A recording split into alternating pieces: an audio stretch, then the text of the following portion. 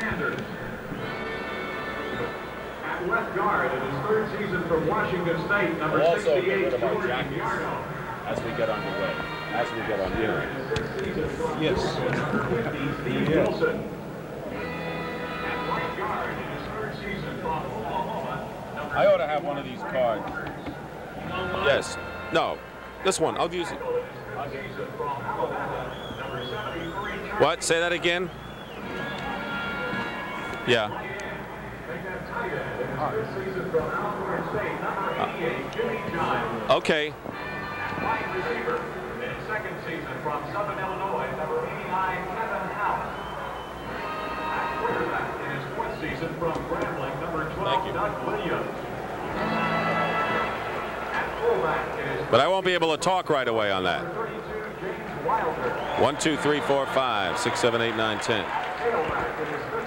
from Southern California, number 42, Ricky Bell.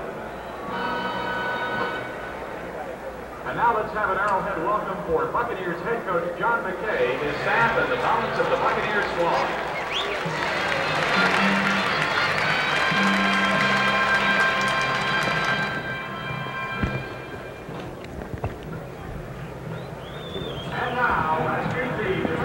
You want me to mention Williams, does it not matter to you? Doesn't matter to me. Can if you want. Yeah. That's all right with me. Yeah. I think that works pretty good with it. Yeah. The setting it up, the way you did that was beautiful. See, then what you're doing is you're giving someone. Something to think about. Thank you. You too. Thank Mike. you, you too, thank you. John and Ed. You too, Ed. Have a good game, baby. You too. First of many, I hope. That's it. Me too. I hope so.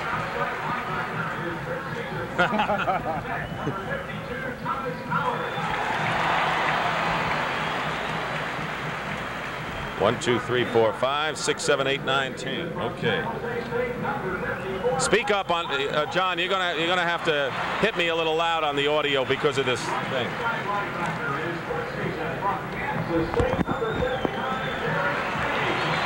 That's what you want.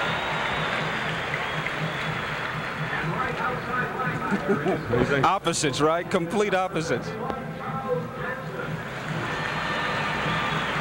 With this uh, earpiece, you're going to have to say you're on or go loud, just so I know. And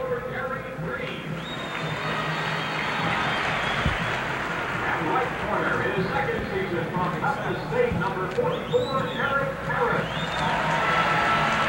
Nothing. I'm just thinking.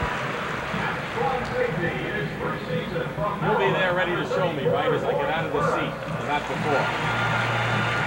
Right. Free safety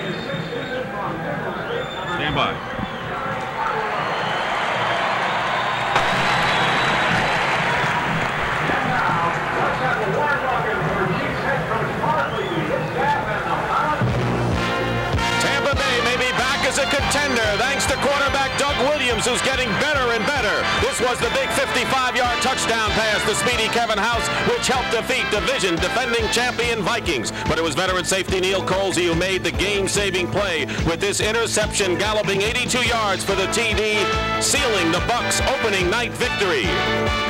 Meanwhile, quarterback Bill Kenney sparked Kansas City with this 53-yard scoring strike to number 88 Carlos Carson as the Chiefs shocked the fading Pittsburgh Steelers. Kansas City needed a clutch play by linebacker Thomas Howard, who picked up the loose ball on a big blitz and went all the way for a score. So both the Bucs and the Chiefs are understandably sky high for this afternoon's opening game. CBS Sports presents the National Football League. Today, the Tampa Bay Buccaneers against the Kansas City Chiefs. So it's the Bucs and the Chiefs at Arrowhead Stadium, the 10th anniversary of this beautiful place. As we welcome you, everyone, I'm Dick Stockton along with Jim Hill. And yes, they're both young. They both have good defenses. They both won last week. But offense is still a question mark. And Tampa Bay, of course, has Doug Williams, and it starts with him. It certainly does. Williams ran for and threw a touchdown pass last week, but I think he's under a lot of pressure because of the ineffective play of his offensive line. However, one of the big keys for this game will be Tampa Bay using three wide receivers and going to the veteran tight end Jimmy Giles and taking advantage of the inexperience of Lloyd Burruss, the starting rookie strong safety for Kansas City. Jim McKay, uh, John McKay is always looking for those little breaks in the other ball club, and I think he sees it there. Kansas City, on the other hand, despite the, a lot of points against Pittsburgh, is really playing an offense in a different era. All they do is run. That's right. 37 points against Pittsburgh could be a little misleading because most of those points came after Steeler turnovers. However, because Kansas City likes to run and pass when they are supposed to, gaining four and a half yards in first down situations is really crucial for them to win. So, Jim, the team that has the offense today is really going to have the edge because they both have good defensive teams. And we're down on the field getting set for the opening kickoff now here at Arrowhead Stadium. As we said, the 10th anniversary Tampa Bay has won the toss. They've elected to receive, and James Owen will be deep, and Lowery will kick off.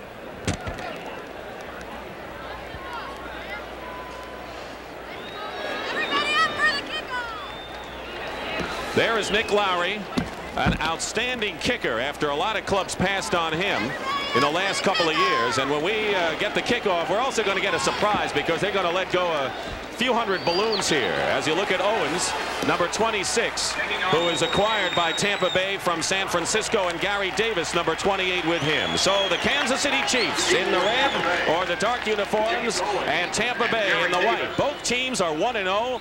They beat tough ball clubs starting the season. They're both at the same level of competition. Last year, Tampa Bay 6-10 after the division championship effort the year before. Kansas City 8-8, their best in several years.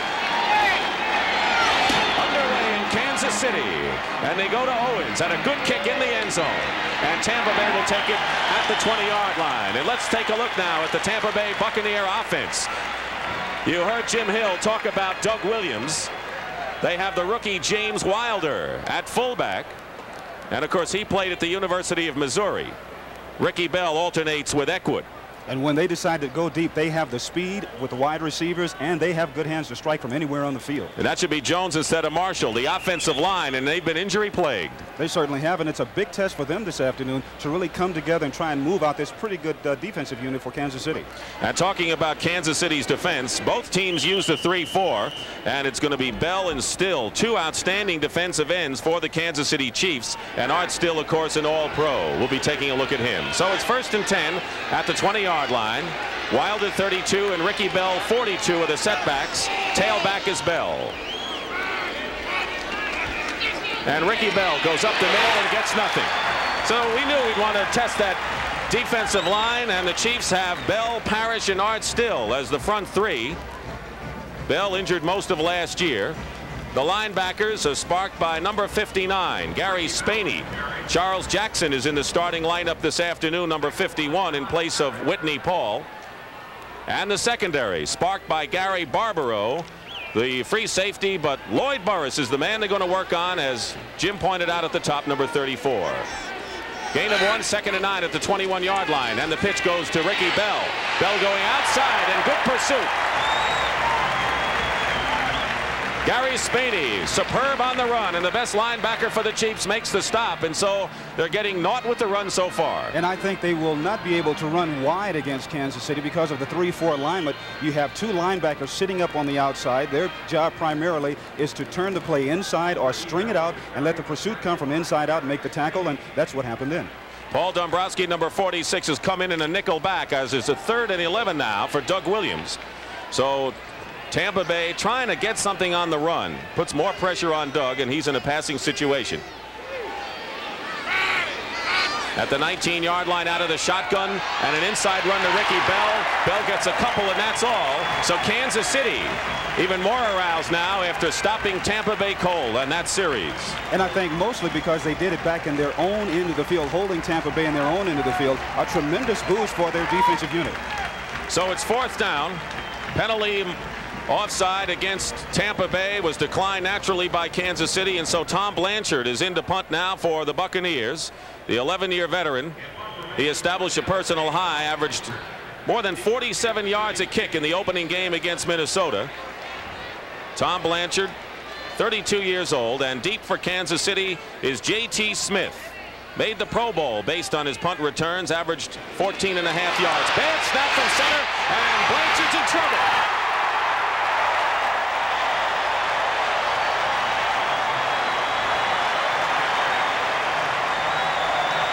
A big for the Kansas City Chiefs.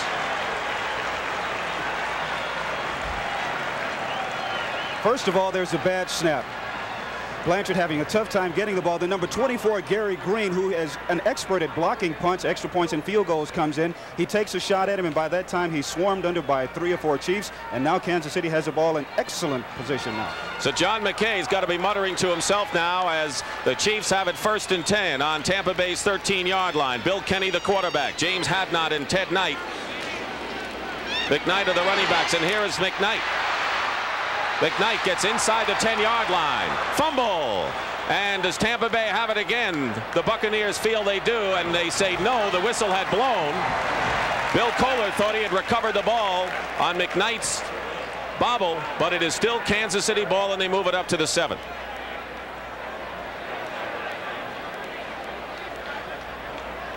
Ted McKnight, number 22, and James Hadnot, 48 of the running backs.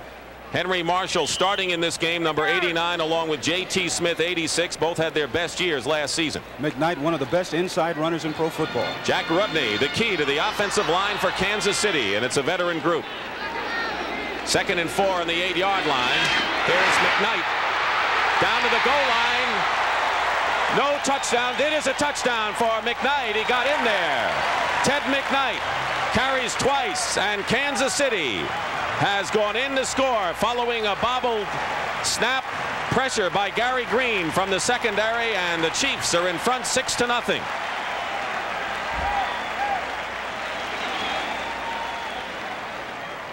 Once again, talking about McKnight being one of the best inside runners in pro football, going against Tampa Bay, you have to run at angles and give your offensive back the opportunity to run inside or outside. And with Knight getting the good blocking up front, he dives in for the score. So McKnight gained 59 yards last week and scored a touchdown against the Steelers. Now has two scores. Nick Lowery's kick is up and good. Bob Grupp's hold. And the Chiefs have scored early, taking advantage of a bobbled snap on a punt. And it's 7 to nothing in favor of Kansas City with a lot of time remaining in this first quarter. It began life as an American war hero, and it's still serving to this day. The legendary Jeep vehicle. 40 years, over a million owners, 10 billion miles, taking its place in every sector of American life. And now with the highest gas mileage of any American-made four-wheeler, Jeep CJ. What vehicle has better withstood the ultimate test of a legend? The test of time. From Jeep Corporation of American Motors. You know, baseball's the same in Japan as it is in America. You played nine innings. Three strikes and you're out. And after the game, there's nothing like a beer. And when Numa's in town, I treat him to light beer from Miller because it tastes great. Yeah, I know it's less filling, but we drink it because it tastes great. Cutting down? Listen, Numa, it tastes great. See how cutting down! All right, it's less filling. Hmm. Light beer from Miller. Everything you always wanted in a beer. And cutting down. Nick Lowery will kick off. The Chiefs lead at 7 to nothing. And James Owens, who is a hurdler, number 26, is back deep. In front of him is Gary Davis, number 28. Two minutes and 20 seconds gone by in the first quarter. And moving up at the eight-yard line is Owens. James Owens trying to get a burst of speed, and he's tackled from behind at the 25-yard line by Dave Klug. So Tampa Bay has it first and 10 now. Doug Williams coming out.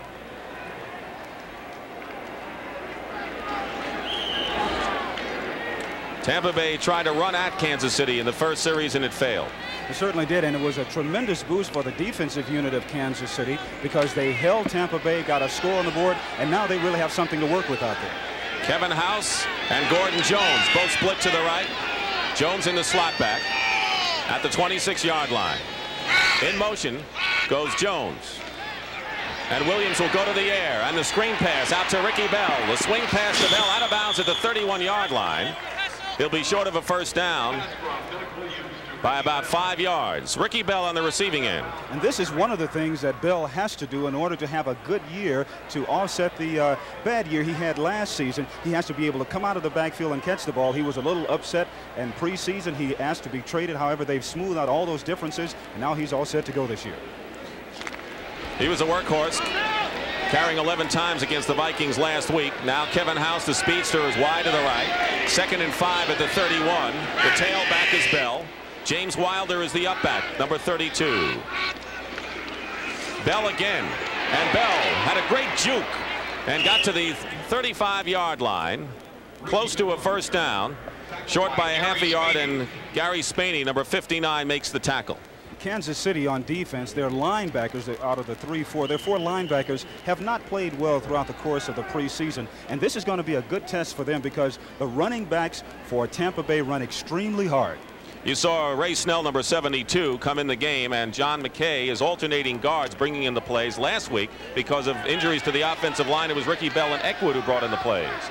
So it is a first down at the 36-yard line as House goes in motion. Pitch goes to Bell. Bell trying to turn the corner. Runs out of bounds at the 38 39 yard line. Tackle made by Gary Green, who happens to be Jim Hill's cousin, number 24. And a good defensive back he is. As a matter of fact, I've been reading articles where they say he's one of the best cover men in all of pro football. So we'll get a chance to see exactly how good he is this afternoon. Well, we saw him put the pressure on Blanchard on the bad snap. Gary Green, uh, who was a first round draft choice out of Baylor for the Kansas City Chiefs and a most versatile performer. And the only person last year in the NFL to block an extra point, field goal, and a punt. He's a marked man on special teams. Second and seven at the 39 yard line. Every running play has been carried by Ricky Bell so far.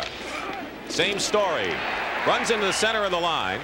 Charles Jackson, number 51, the right outside linebacker who replaced Whitney Paul had help from Ken Kremer, number 91, the nose tackle. It appears now that Tampa Bay is testing out the inside of uh, Kansas City's defensive line. Art Still, who has a bad hand, they want to see how strong he really is. And they're running at the bubble. And by I mean the bubble, they're running at the uncovered men or running at the guard positions.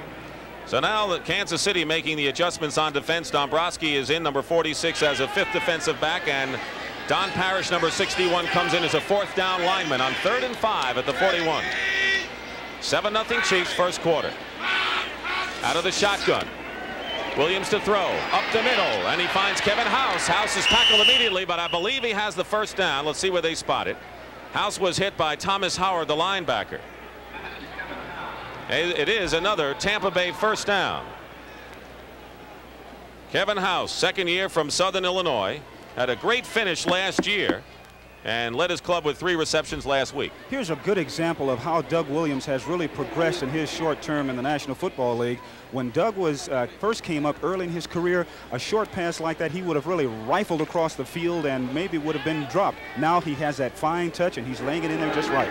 Jerry Eckwood, number 43, replaces Ricky Bell, and he's awfully tough coming out of the backfield on pass plays. He's got good speed. First and 10, and here is Eckwood. He's getting a block from Greg Roberts, but nothing doing. And Charles Jackson showing why he has won a starting job with help from Gary Barbaro coming from free safety. And Kansas City is just doing a number on Tampa Bay's running attack. Well, this is what I was talking about, uh, Dick, as far as running against the 3-4 defense and trying to get outside. You have linebackers who are just waiting out there to turn the play back in. Now, you see Jackson comes up and he turns the play in. You want to make the uh, ball carrier run laterally as long as possible and wait for the pursuit. If you're Tampa Bay, how would you attack this defense? If I'm Tampa Bay, you have to run at angles and you have to start working on, a, on, on their defensive secondary just a little bit. Three wide receivers in the lineup right now. One setback is Eckwood, and Williams under pressure tosses and hit immediately. Frank Manumaleuga makes the stop on the pass intended for Jerry Eckwood coming out of the backfield. Manumaleuga was the man who came in and hit Terry Bradshaw, creating the fumble. The key play last week when Howard picked it up and ran for the touchdown.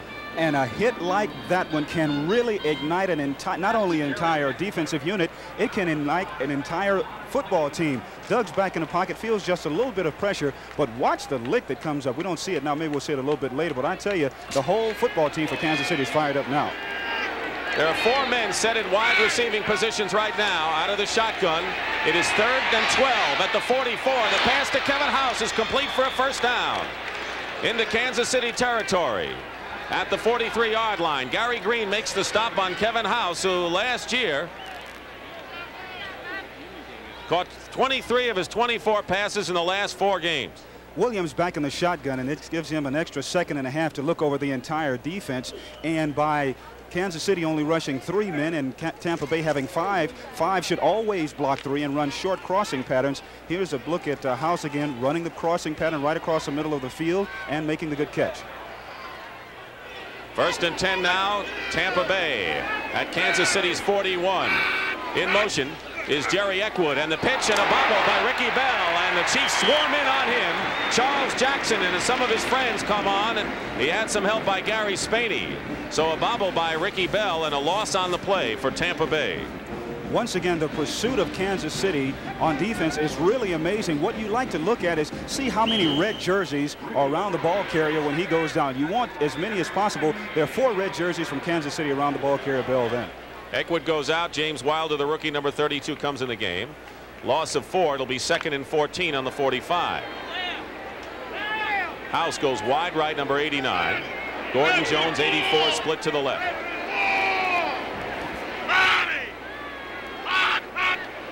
Here comes the blitz. Doug Williams. And it's deflected by Don Parrish, the nose tackle.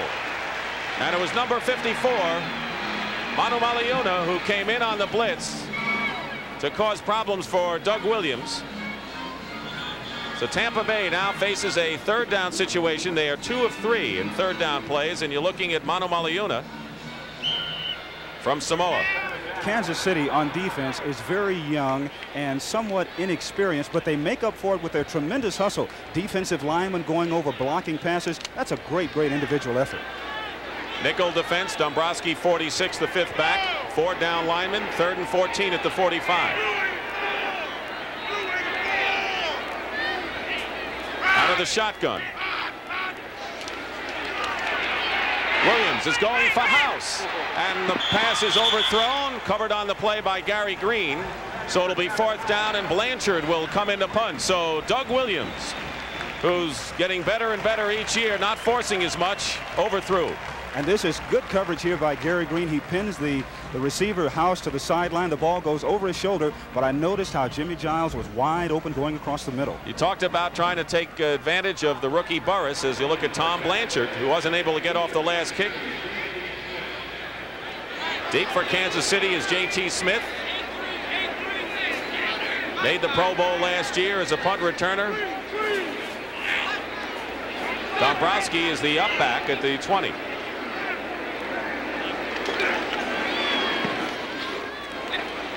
Low kick, and could be a return here for Smith.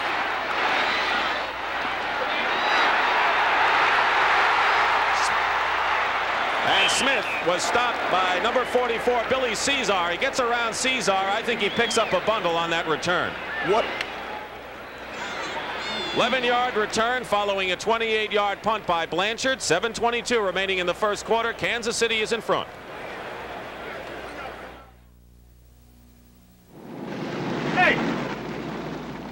Half a car. To prove Havoline Supreme gives cars engine protection up front. I know, but... Well, you should know. It delivered proven protection in punishing state trooper testing. Yeah, but... Where's the rest of my car? Yeah. Here it comes. To prove Texaco's Havoline Supreme delivered improved mileage, too. Upfront protection backed by improved mileage. That's Havoline Supreme. Do me a favor. I know. Prove how good Havoline is in the next county, huh?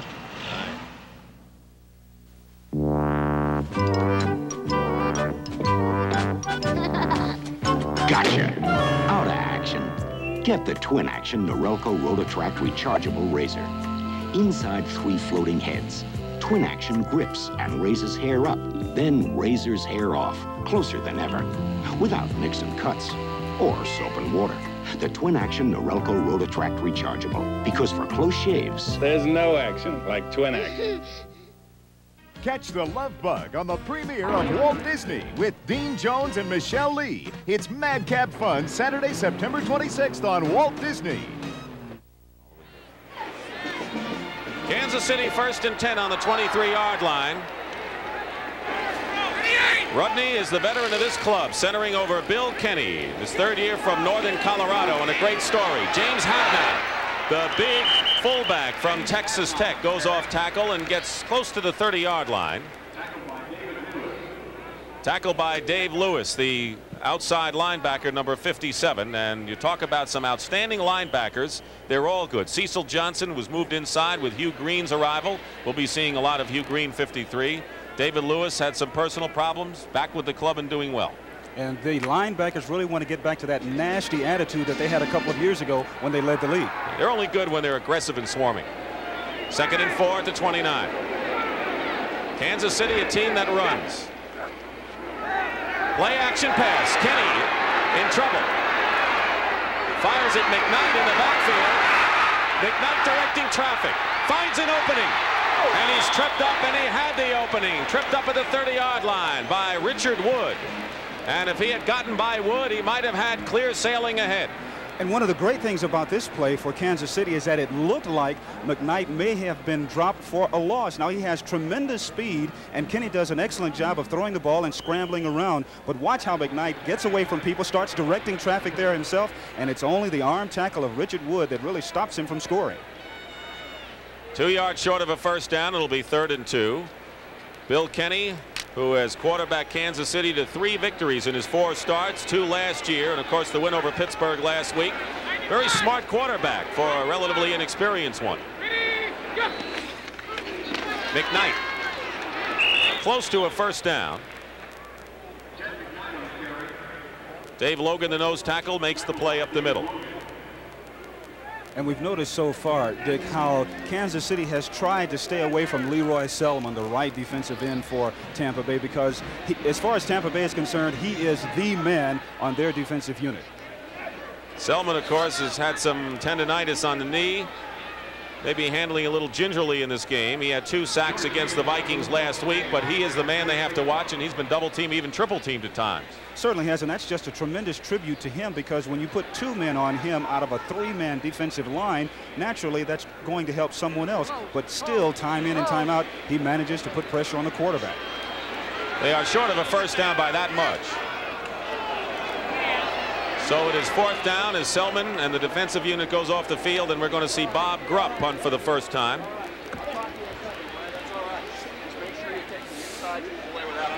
Very good kicking team for Kansas City. Bob Grupp will punt. Averaged over 39 yards. Theo Bell, a former Pittsburgh Steeler, who is on this club because of his special teams abilities, is standing at the 25. 5.20 remaining first quarter. Dick Stockton and Jim Hill here at Arrowhead Stadium where it was 82 degrees and humid. Theo Bell coming up and slides and is down at the 42 yard line. So Tampa Bay has some good field position following that kick and the Buccaneers will go on offense. So Kansas City taking advantage of an early mistake holding on to their lead. You know people like me. We're young, ambitious, these are the uniforms we wear at work. But these are the uniforms we wear when we serve part-time in the National Guard and the Reserves. You see, in the Guard and Reserves, you earn extra money. So you not only serve your country, you serve yourself. Yet while you serve, you can live at home and keep your full-time job. Because in the Guard and Reserves, you don't have to give up one life to live another. The National Guard and the Reserves. Talk to your local recruiter. Toyota Celica GT isn't a sporty car. It's two sporty cars. It's a Celica GT liftback with fold-down seats, a hatch that opens to cavernous space, and the Celica GT Coupe with room for four plus a trunk. The Toyota Celica GT. It's a sporty car, and it's a sporty car. Oh, what a feeling! Celica! Stay with CBS Sports following the game for the men's finals of the United States Open Tennis Championships. Will Bjorn Borg finally break the hold that John McEnroe has on Borg? McEnroe looking for his third straight. Should be another classic U.S. Open final. First and 10 at the 41-yard line for Tampa Bay. Trailing 7-0. Eckwood and Bell in the backfield. Pass is complete to Jimmy Giles. And so for the first time, Tampa Bay taking advantage of the rookie strong safety Lloyd Burruss, the third round draft pick from Maryland, and Giles was open.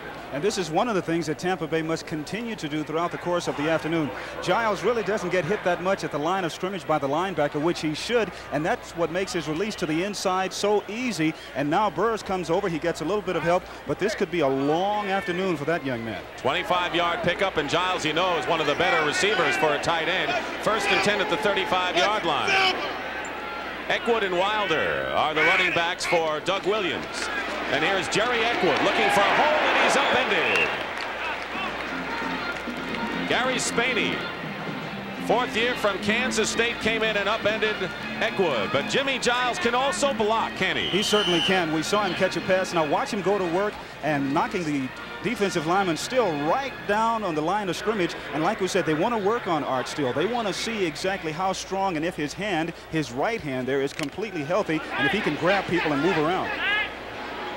Theo Bell has come in and he's playing the slot three wide receivers now with House and Jones and Eckwood is the only setback second and eight at the 33 yard line and the quick looking pass to House who's hit and then gets a few more yards. So Kevin House was hit first by Lloyd Burruss and then managed to get forward to the 17-yard line and another Tampa Bay first down. So Burruss uh, didn't make the tackle as he should have. And once again, he's going to get a complete indoctrination into the National Football League this afternoon. One of the things that he's going to have to do when he's out there by himself is just to hang on and pull the receiver down any way he can. Ricky Bell returns to the game for the Bucs, and Don Kremer, number 91, comes in. Ken Kremer, number 91, in for Kansas City. First and 10 at the 17-yard line.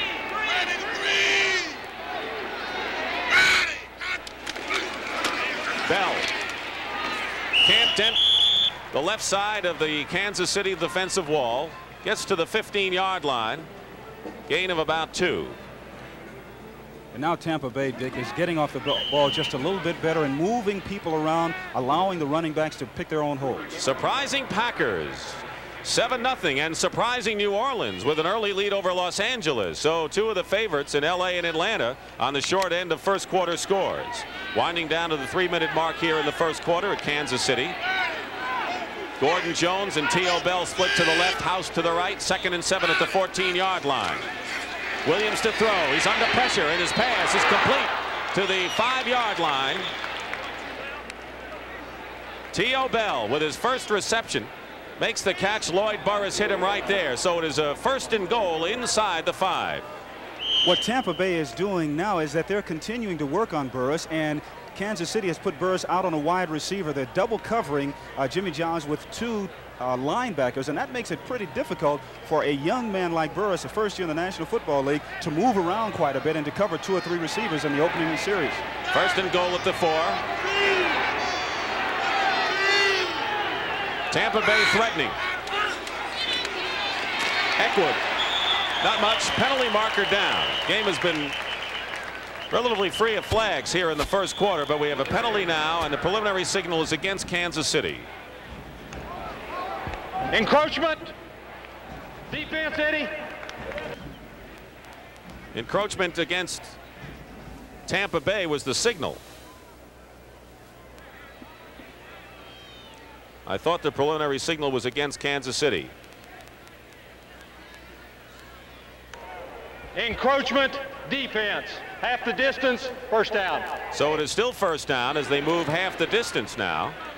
Doug Williams from Grambling, number one draft choice in 78. Moving this club, started out with good field position. He's six of nine for 72 yards through the air. And this is an area where the defensive linebackers for Kansas City must play well. Two tight ends as Jim Obradovich, number 86, joins Jimmy Giles at tight end. First and goal at the two. Pitch goes to Wilder. And Wilder from Missouri is in for the touchdown. And it's got to be a pleasing moment for the second round draft choice from Missouri, James Wilder, who scores his first NFL touchdown to bring Tampa Bay to within one point of Kansas City. Pretty good blocking up front. However, the speed of Wilder. Now watch him run, and he's as he keeps his feet moving. That's the most important thing for a running back. You see him start to pick his feet up just a little bit higher, and uh, came over that, gave off with a forearm shiver, goes in for the score, and he's going to be a good running back. Here's another example of it. Watch him as he picks his feet up and goes in. Ray Snell with a good block that got him over the top. And now the point after veteran Garo Yepremian and the kick is good, and so we have a tie game. Garo Yepremian had the flu this week and uh, wasn't kicking very deep on kickoffs, but he adds the point after, and we have a tie game with 2.08 remaining in the first quarter. Looking for the right fields to invest in. And the right investments in those fields can be frustrating. That's why Merrill Lynch does the groundwork with research. To seek out the best investments, Merrill Lynch brought together the best researchers. And it is turning up the unseen or overlooked that makes us what we are. Merrill Lynch, a breed apart. Clean water, more precious to life than oil. But it too is becoming scarce because of man's pollution. But now there's something that's helping to clean water all over the world. A unique wastewater treatment system made possible by this special plastic developed by Phillips Petroleum. There are other energy sources besides oil, but there's no substitute for water. Caring for your car and more, that's performance from Phillips Petroleum. For Outstanding Lead Actor in a Drama Series, the winner is... Who will be the winner? Share the live excitement and entertainment. The 33rd Annual Emmy Awards, Sunday. So Garo Yepremian, in his 14th year, will be kicking off to Carlos Carson, who's on the receiving end of that touchdown pass from Kenney last week. This is a short kick, and Carson at the five-yard line. He's the fastest receiver on this team, but he runs into a crowd, and he stopped at the 20-yard line. John Holt, a rookie from West Texas State, one of those in on the play. So Kansas City starting on offense first and 10, and Bill Kenney. he had a 300-yard game against Baltimore, and you know it seems that despite the conservative aspect of the Chiefs, they seem to score a lot of points when he plays. They certainly do, but of course they get a lot of uh, turnovers from their special teams, and of course special teams play so much a vital part of any football game. But Bill Kenney is a good quarterback, and with more experience, he's going to get better. Originally a 12th round draft choice by Miami, traded to Washington, picked up by Kansas City as a free agent. In motion is J.T. Smith. Joe Delaney, the rookie, is in the ball game. We'll be seeing a lot of him. And David Lewis deflected that pass.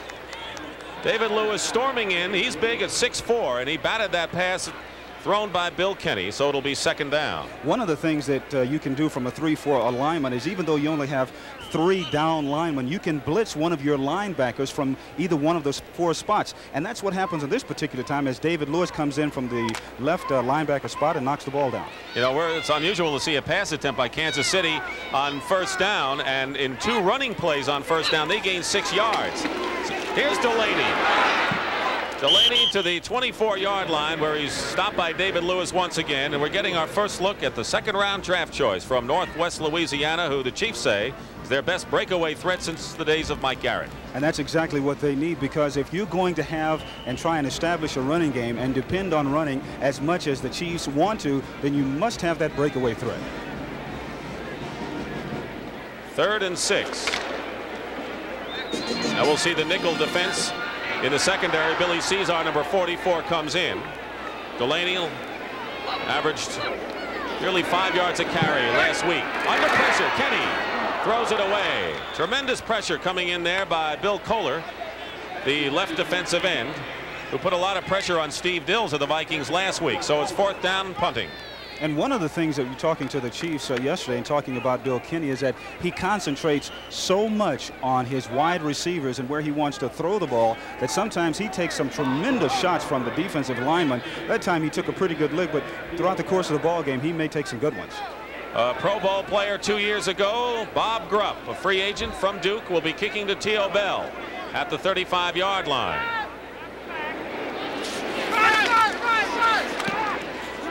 Good kick by Grupp.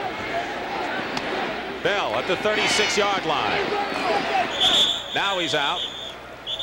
Just short of the 40-yard line. So that's where Tampa Bay will take over. A 39-yard kick by Grupp and a four-yard return by Bell. This telecast is presented by authority of the National Football League and it's intended for the private use of our audience and any rebroadcast or other use of this telecast without the express written consent of the Kansas City Chiefs and the National Football League is prohibited.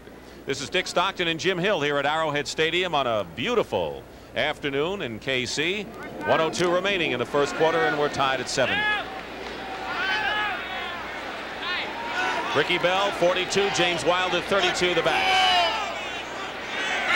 At the 39. Wilder doesn't make it to the 40. Charles Jackson coming up from linebacker along with Gary Spani. And Kansas City linebacker forcing the runs effectively so far. Their linebackers are playing exceptionally well this afternoon, probably better than, than what uh, Tampa Bay thought that they would. If you were rating the defensive teams before the game, you'd have to say that Tampa Bay had the outstanding linebackers, and that was the one weak point for Kansas City. Theo Bell goes out of the game now as Wilder comes back in. Paul Dombroski is a fifth defensive back once more for Kansas City. It'll be second and nine out of the shotgun at the 40.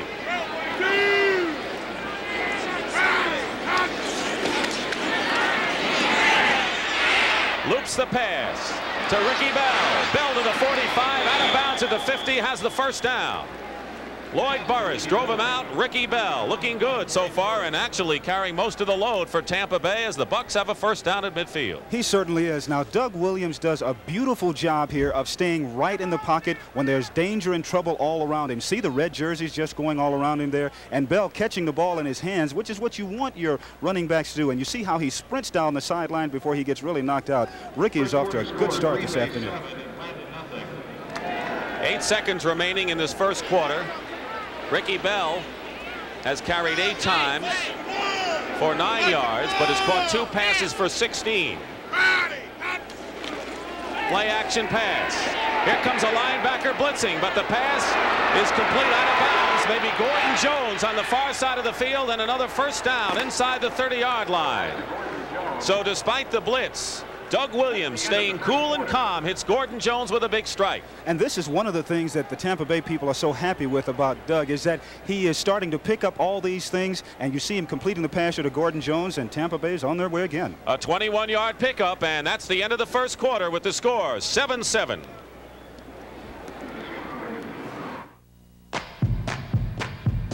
He's walking, yes indeed, a dingo man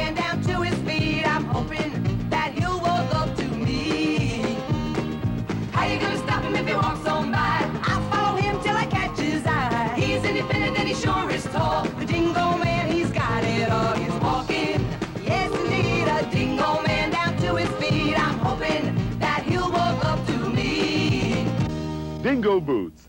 Get in step. Hi, Hal. Hi, Mr. Van Patten. You know, I've got a big family in real life, too. So we need room when we drive.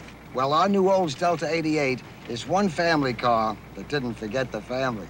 And this one's a diesel, so it has the same kind of mileage as many smaller cars. Now, that's practical. Our new Olds Delta 88. In today's practical world, there's still room to do it with style. Dial it has national sports news. It's more than rational just to call National Sports for all the latest reports. We're talking national sports news. We've got it all. 900. What a wonderful call. 900-976-1313. At 50 cents a call, I keep up on sports. Dial it. We're talking to you.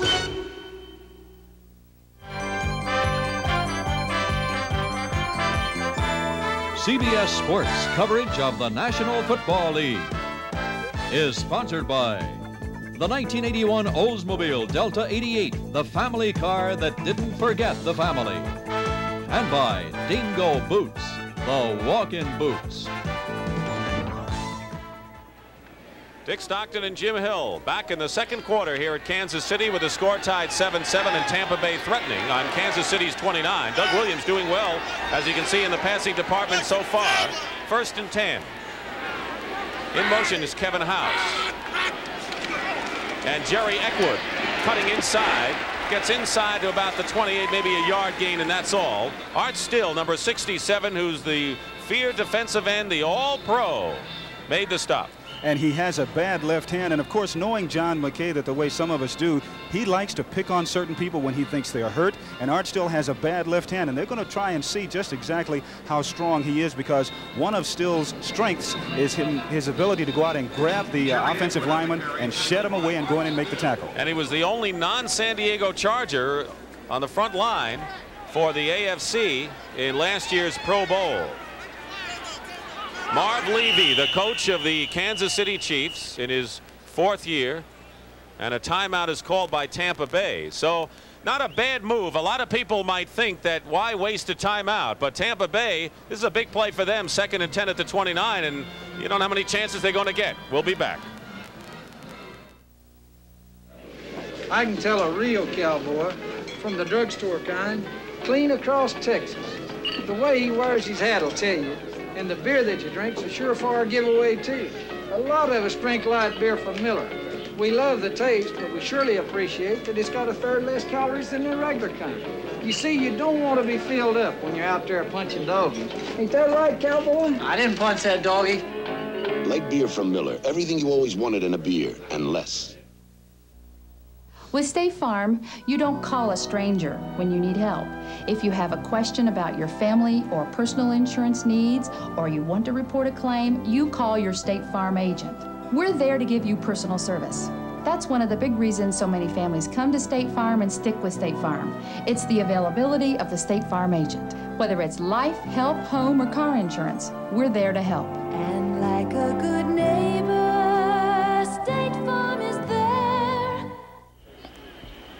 So Williams was wise in calling that timeout, you feel, Jim? He certainly was. He saw something from Kansas City that he wasn't expecting. This is only his fourth year. Good decision. Call timeout. Out of the shotgun, second and 10 at the 29-yard line. James Wilder in the ball game replacing Bell. Williams under pressure, but he can run. And Williams, penalty marker down, 25. Williams runs out of bounds at the 10, and we have two penalty flags down. We might have a clip back there, but we'll wait and see. Normally, that's what the call may be. And apparently, that's it.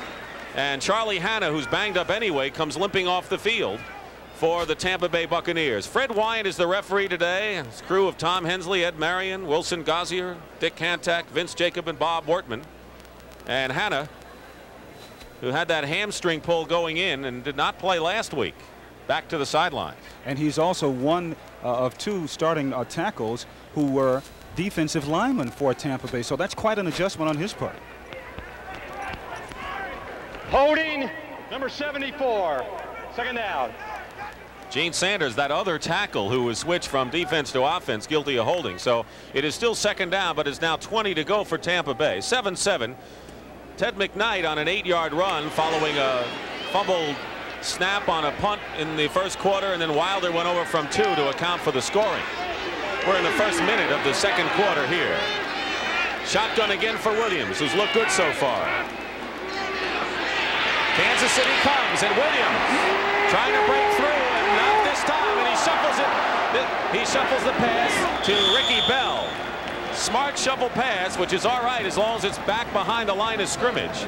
Charles Jackson and Frank Case force the play. So Kansas City obviously is looking to blitz whenever they go the shotgun. That is really unbelievable by Doug Williams. Now, this is an example of why he is probably the most dangerous quarterback in the National Football League when he starts a scramble. Watch the athletic ability. He's so strong up top. He feels pressure coming from the right side, puts the ball in his left hand, and calmly and coolly tosses it out to Ricky Bell. A great play. Yeah, we know he can throw throw long.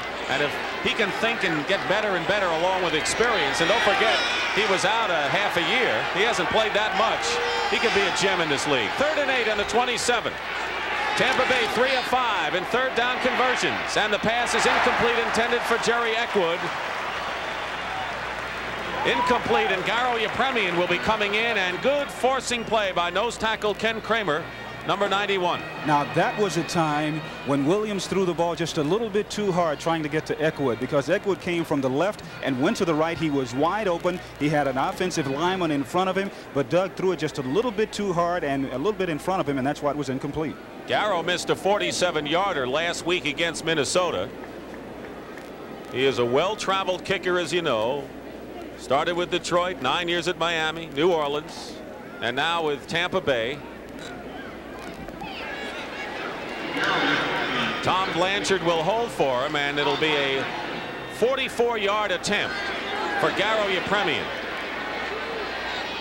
Tampa Bay outgained Kansas City in that first quarters. And Garo's kick accurate and good just over the crossbar for Garo Yepremian. So that's his first field goal of many. He's the ninth all-time leading scorer in the league. Gets congratulations as he puts the Bucs in front 10 to 7. The Mercedes-Benz 240 diesel delivers 29 miles per gallon here and 33 miles per gallon on the highway. It also delivers this.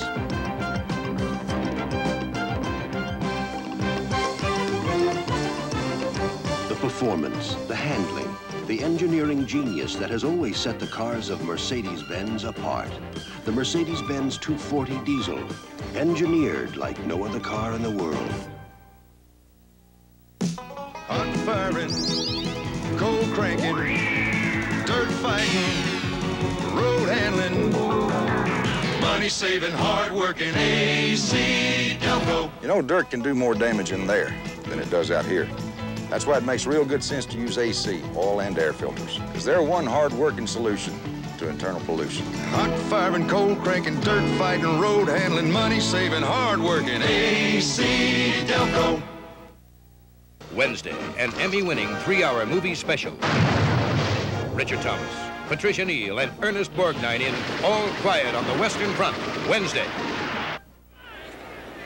If you look at the numbers, you think it's all Tampa Bay. Look at first downs, total yards, time of possession, and the fact that Kansas City's trailing by only three points is good for them, considering that they really haven't gotten unleashed yet.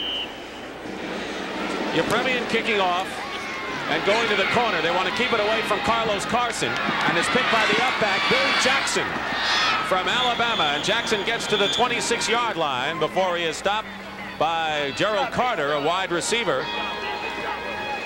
So Kansas City will try to go on offense, and as we pointed out, and Jim made this clear at the outset, running on first down is important. Well, they did it twice, gained six yards each time, and then when they tried to pass on first down, they came up empty. That's exactly right. And so right now, that's they're kind of wondering what in the world is going on out there. They're going to have to get a little bit better effort from their offensive line. Their offensive linemen are going to have to fire off the ball, stick their head in the numbers of the defensive linemen for, Kansas, for Tampa Bay, and move them around a little bit. Kenney is one for three for just a single yard passing.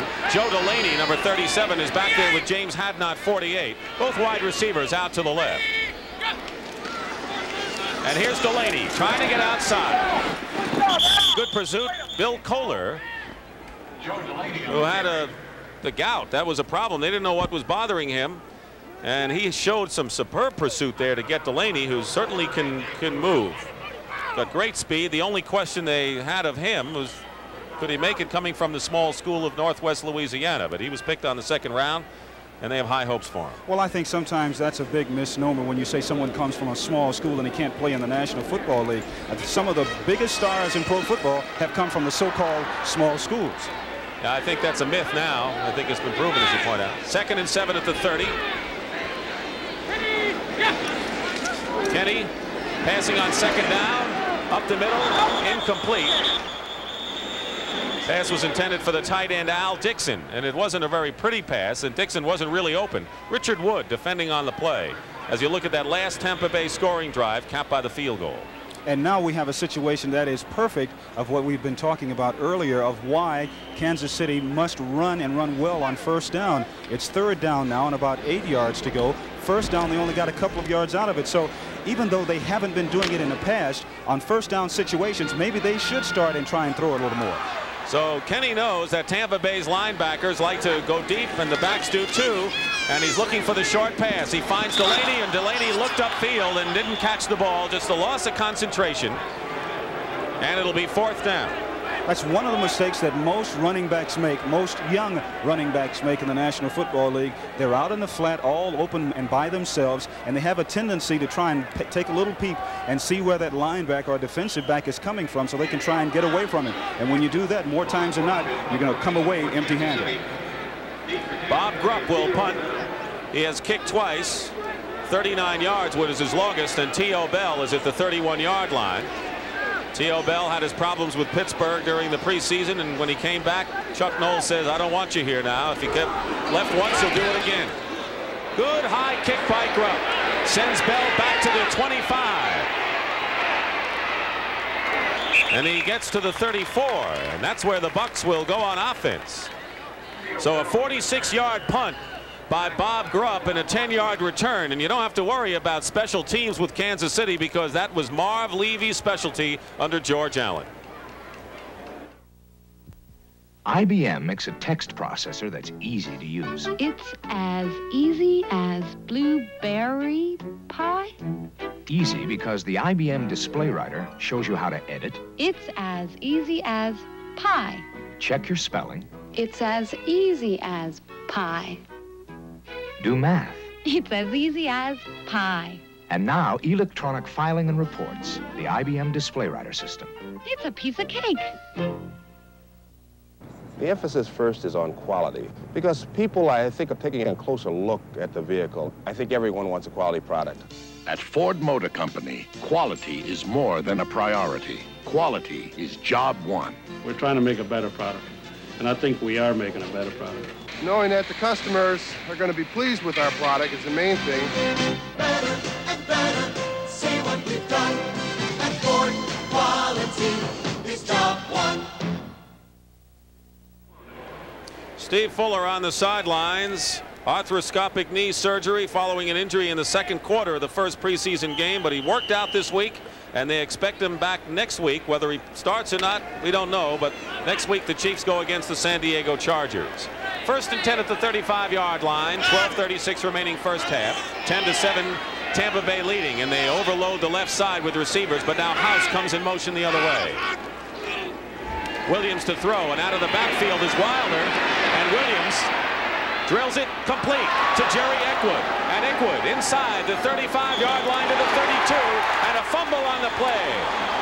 Manumaleuga made the tackle on Eckwood, but I believe it's going to be down there in Tampa Bay ball.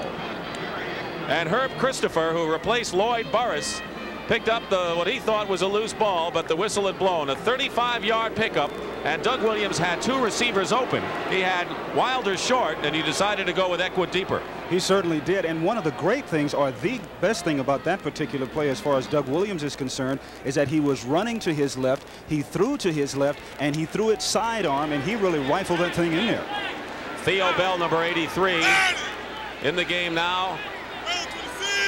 In the slot back, Ricky Bell, the lone setback. Play action. Williams in trouble, throws it down. And no flag. Kansas City calling for intentional grounding. And the new rule is that if you get the ball away just to avoid taking a loss, it's a penalty. And that's exactly what Don Parrish is saying. Loss of down. All right, they called it. Loss of down as well. So this hurts Tampa Bay. It's certain that's exactly right. The new rule, as we talked as you talked about, Dick, there was no really uh, Tampa Bay receiver around, and this is a this is strictly a judgment call on the part of the referee. And if in his judgment he feels that the quarterback throws the ball away to prevent a loss, then it is intentional grounding. John McKay, only five coaches in the league have been in their jobs longer than John McKay. It seems like only yesterday he got to Tampa Bay from Southern Cal. So second and 10 at the 32. Mike Bell had good pressure there. Nothing doing. Eckwood thrown back to the 37-yard line by Mike Bell, who's now starting to make his presence felt. Mike Bell played only a game and a half, had a shoulder injury last year, a number one draft choice a couple of years ago. And the thing that allows him to make the tackle and get into the backfield so quick is that he was off the ball extremely fast. He was watching the ball, which is what defensive linemen have to do in order to make those kinds of good plays. Don't listen to the quarterback. Move when the ball moves. They need that pressure by Bell and Still on the two defensive end spots. Third and 15 at the 37-yard line out of the shotgun. They're going deep. House incomplete.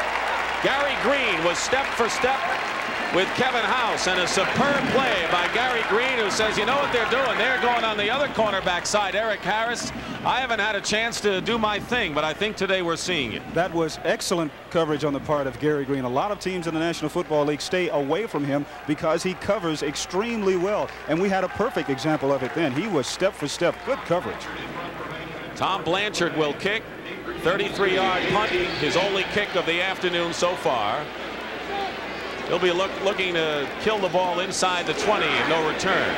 J.T. Smith is deep. And it takes a Tampa Bay bounce and into the end zone for a touchback. So Blanchard wanted it to stay in. It didn't, and that's the way it goes with 10 minutes and 40 seconds remaining in the first half. And Tampa Bay on Yepremian's field goal has the three-point lead.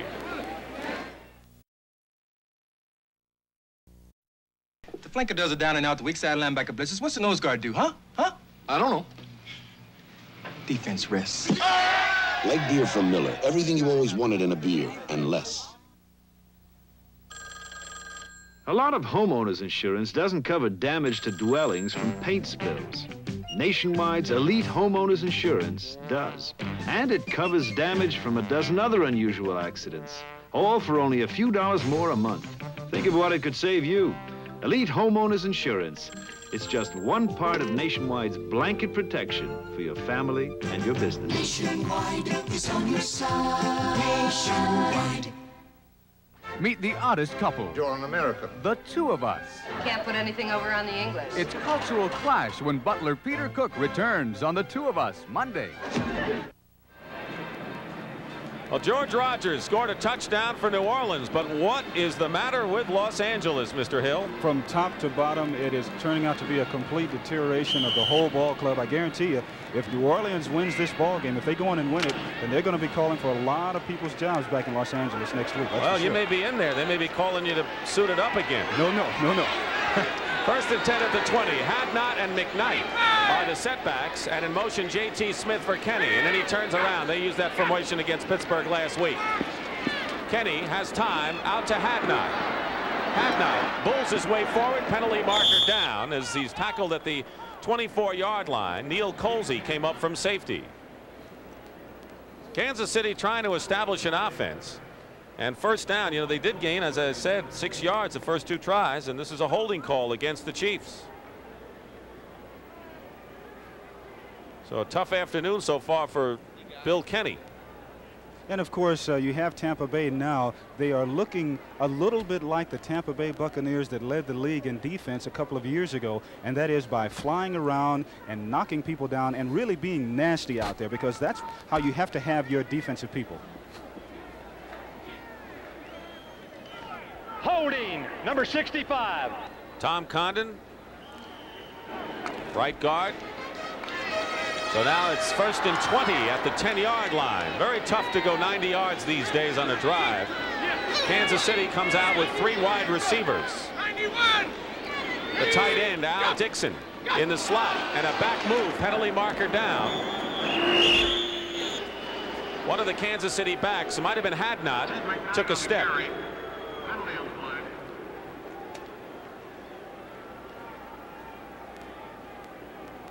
Chiefs are playing a fine game defensively. They're stopping Tampa Bay's run cold. Bucs have had good field position to account for their two scores, but the Chiefs can't get it started on offense. Illegal motion, number 48, declined. Second down. Watch the lower right of your screen. Yep. There it is, James Hadnot moving. But of course, you know, an experienced quarterback can look around, and if he has good peripheral vision, he can see that running back moving, and he can hold up the snap cadence just a little bit and give him time to get back and get set. Meager numbers for Bill Kenney with 10 and a half to play. And on a draw play, McKnight, another penalty marker down as McKnight to the 17-yard line. David Lewis from the strong side outside linebacking spot makes the tackle, but another flag now on second and 20. And Kansas City now penalized three straight plays. They're getting very frustrated. They're at their own end of the field. Tampa Bay is really flying around out there on defense and starting to just knock people down and not care, just hitting everything in the opposite color jersey. And when that happens, that usually puts a lot of pressure on an inexperienced young offensive line, and that's what's happening now. You know, the offensive line proved to be troublesome last year for the Chiefs. They lost their first four games with Herkenhoff and Illegal use of the hands to the face, number 60.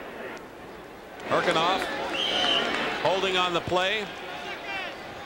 He was out last year and uh, with a makeshift offensive line lost the first four games as Marv Levy on the sidelines wondering what's going on here. But they won eight of their last 12 with everyone intact. Hadnot carries, gets nothing. David Logan comes up and now the opening day crowd so cheerful just a hour ago a little unhappy. And the way it appears now, if Kansas City really doesn't do something and get away from just running, running, running all the time, especially on first downs, they're going to be frustrated throughout the, the entire afternoon. And also, that's a big advantage for the defensive unit. When they know you're going to run on certain situations and pass in certain situations, they can really take off on you.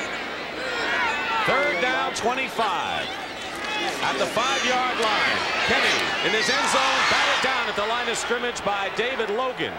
So Tampa Bay has been able to knock down a couple of pass attempts by Bill Kenney who's certainly not a small quarterback at 6'4 and Logan's wishing he maybe had that stickum that uh, Lester Hayes had last year but Jim. That was almost a defensive lineman's dream. David Logan now watch what the ball is going to hit him right in the middle of the hands right there and he knew that if he had caught that he would have been in for an easy six. Well Tampa Bay sitting pretty as Logan goes off the field and Grupp will kick from the end of the end zone and Theo Bell is at the 45 yard line of Kansas City. Any kind of a return and the Buccaneers will be looking good. And the ball takes a Kansas City bounce. And what a break it is for the Chiefs as it dies at the 37 yard line. So Bob Grupp and in a big kick had nowhere to back up to. He was at the end of the line and he gets Kansas City out of a hole a 62 yard kick for Bob Grupp. We want to remind you to stay with CBS Sports after the game. Could you ask for a better men's final in the U.S. Open Tennis Championships? Bjorn Borg and John McEnroe. What do you think? Oh, that's going to be a good one. And I know Borg would really like to get at McEnroe to break his string of victories at the championship. And also because uh, it was McEnroe who beat Borg at Wimbledon. Borg has never won the U.S. Open. Right after the game, join us. First and 10, 38 yard line. Wilder and Bell are the setbacks, and Kevin House is in motion for Doug Williams. Ricky Bell out of the backfield. Not a good pass for Bell, I don't believe. Little low. Should he get that? Well, anytime, usually when a ball touches your hands, you're supposed to catch it. However, that particular time it was just a little low, as you mentioned, and Bell has been working on catching the ball during the offseason, and he has really improved, and he's shown us already this afternoon. Benny Ricardo has kicked three field goals. George Rogers has his first NFL touchdown. But the story is the Los Angeles Rams are a team in trouble as they trail 16-0 to the New Orleans Saints second quarter. We have 9.25 remaining in the first half. 10 to 7 Tampa Bay leading the Kansas City Chiefs. Second and 10 at the 38. Williams has been able to throw and that pass is batted down. Art Still. Incomplete Art Still a big 6'8 defensive end got his hand up there to knock down a Williams toss. And I tell you, you can't ask for anything more from the Chiefs defense so far, Jim. Absolutely correct. And the Chiefs can do so many things on defense. It's the little things that really help a defensive uh, unit. For instance, sticking your hand up when you go in to rush the passer. Now, you know that, that Doug Williams is a big quarterback himself. But Art Still at 6'7", 6'8", he rushes in, and when he sticks his hands up in the air, well, he's over seven feet tall himself. There it is from the end zone view. Now, there's Art sticking up that big right hand of his and really putting a lot of pressure on. Third and 10 at the 38. Doug Williams, 10 of 18 for 145 yards. Up the middle. Incomplete. It was intended for Kevin House. And through his fingers, he had to leap for it. So it'll be fourth down as Gary Barbaro, the fine free safety covered and cheers for the Kansas City defense. Problem is, as we said at the outset, Jim Hill, the team that can move the ball is going to have the edge in this game. And so far, the Kansas City Chiefs have not been able to do it. So Tom Blanchard will be punting and J.T. Smith will be deep at the 25-yard line. A low snap, but a good kick by Blanchard. Smith.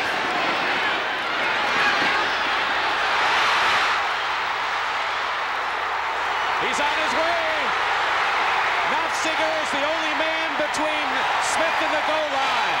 And Smith is out of bounds at the 21.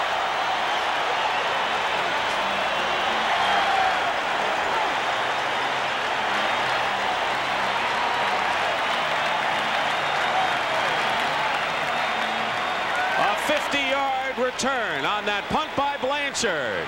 And that's why he's the best in the NFL at what he does. And the key to the whole thing as far as J.T. Smith is concerned is running the ball and running just as fast as you can and keeping your feet up, especially on this AstroTurf, because if you drag your feet a little bit, you will stumble and fall. Now watch, he keeps his legs moving, and what happens is when he gets into traffic, he turns sideways, and when you turn sideways like that, it prevents a smaller target for people to hit. He broke four or five tackles, and that was about as pretty a punt return as you'll see. Have is hemmed in and is lost. And the first down average for Kansas City is just under three yards. And so we knew that that wouldn't be enough. And they're foiled once more. Now, you see, now here's where you really don't take advantage of some of your offensive personnel. You just had a tremendous play by your special teams, running the ball back, putting you in excellent uh, position to possibly score. Why not put the ball in the air on first down, keep the pressure on the opposition? You're taking the air out of your own balloon. That's right. Second and 12 at the 23. And Kenney can throw. He's a pure drop back passer if given the opportunity. He's got it here. Receivers are covered for the moment. And the pass is drilled and complete to the 10-yard line. Stan Rome, former basketball player from Clemson at 6'5", made that low catch, a good catch by Stan. It was a good catch, but it was a great individual effort by uh, by Bill Kenney, who sets up in the pocket, feels pressure, and moves around, goes up to the line of scrimmage. All of a sudden, he sees the wide receiver and throws the ball in there. That's the kind of play they should have come up with on first down right after the special teams punt return. So they have a first down at the 11-yard line, and now three tight ends in the game. That was a 14 yard play. Al Dixon, 84. Willie Scott, the top draft choice from South Carolina, 81. And Ed Beckman, number 85. First and 10 at the 11. I would think this is a key drive for Kansas City. Delaney, or McKnight, I should say, thrown for a loss of four yards. And Neal Colzie, the savvy veteran who made that big interception against the Vikings, read that perfectly. Kansas City has not been able to run wide against Tampa Bay. And unless there's a complete breakdown as far as Tampa Bay is concerned, they won't be able to because they're getting such good pursuit. Their linebackers are forcing well. Their secondary people are coming up so well. And they've just shut it off altogether. And, you know, McKnight is not the man to go outside. If you're going to go outside, Delaney would be your best bet. Second and 12 at the 13. Dave Stalls, number 65, takes over for a limping Leroy Selmon at right defensive end. Kenney to put it in the air again under pressure. Kenney looking, finding complete pass inside the five-yard line. Carlos Carson with a fine catch going up high in a crowd.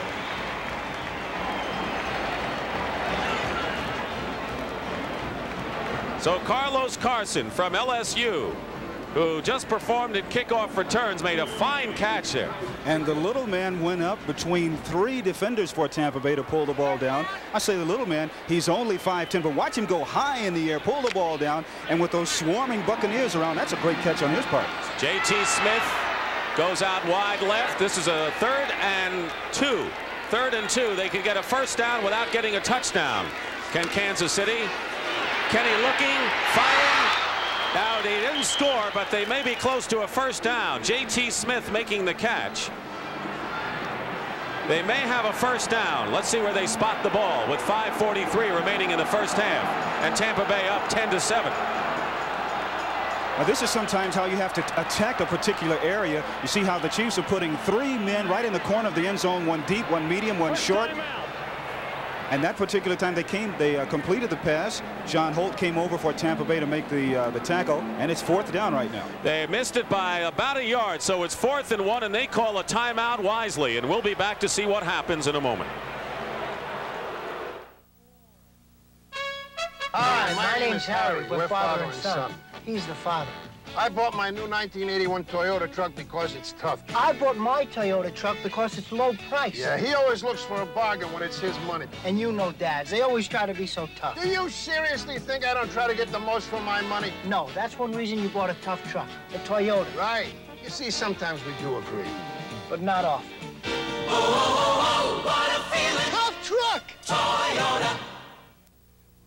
Deadline, Saturday, September 26th at Sears. The Sears 48 battery is on sale. Next to the DieHard, the best-selling replacement battery in America. Now only $49.99 with trade-in. Save $10. And while they last, 25% off at Sears. Weather Handler all-season steel belted radial tires. Save 25%, as low as $29.75 per tire while they last. For great automotive values, you can count on Sears. So Marv Levy, who's a conservative coach, will go for the three-pointer to try to tie it up. Bob Grupp will hold for Lowery at the 10-yard line. Lowery was three for four last week. The only one he missed was a 54-yarder. 20-yard field goal is good, and we have a tie game. So a 20-yard field goal by Nick Lowery has tied the ball game up at 10 with 5 minutes and 30 seconds remaining in the first half. Well, next week, CBS Sports Saturday brings you great racing action. Pleasant Colony is expected to continue his quest for Horse of the Year at the Marlboro Cup. And next Sunday, NFL doubleheader. You'll see San Francisco at Atlanta, Tampa Bay at Chicago, Washington at St. Louis, and Green Bay at Los Angeles. Check your local listing. So it'll be a big weekend of sports next week on CBS. You know, Dick, as I sit here and think about just what happened to uh, to Kansas City, that punt return was really wasted. It was really wasted because when you get a good punt return like that and you only come away with three points on the scoreboard, the defense has really done their job. I mean, I've seen uh, teams in, in, the preseason to go through the same kinds of situation, get down at that end of the field, and then go for it. But then in the regular season, they don't do it. What you're saying is, Jim, that if all things were equal and Kansas City had a uh, an offense that they can count on to get move the ball X amount of times during the game, they can afford that field goal. But the fact is their offense is not really clicking today, and you have to take advantage of every small chance you have. Because you don't know if you're going to get back down there. James Owens is deep. You saw him there, number 26, and Nick Lowery will kick off here following the field goal by Lowery. And Owens inside the five. He was a high hurdler, competed in the Olympics, and a penalty marker is down. And so is Owens at the 25-yard line, so we may have a clip down about the five-yard line. Dave Klug, number 55, makes the tackle for Kansas City. Ed Beckman is talking to the official. So Owens on that return. Tampa Bay has the ball first and 10 and we'll check it out from Fred Wyatt.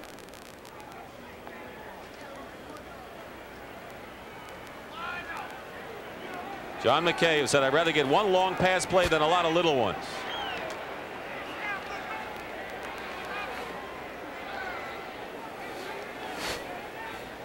Going to set the Bucs way back. Number 64, illegal hit in the back from the rear. Longest punt return in history against the Tampa Bay Buccaneers. 50 yards by J.T. Smith set up that drive. Five plays, but Jim Hill pointed out came away with three.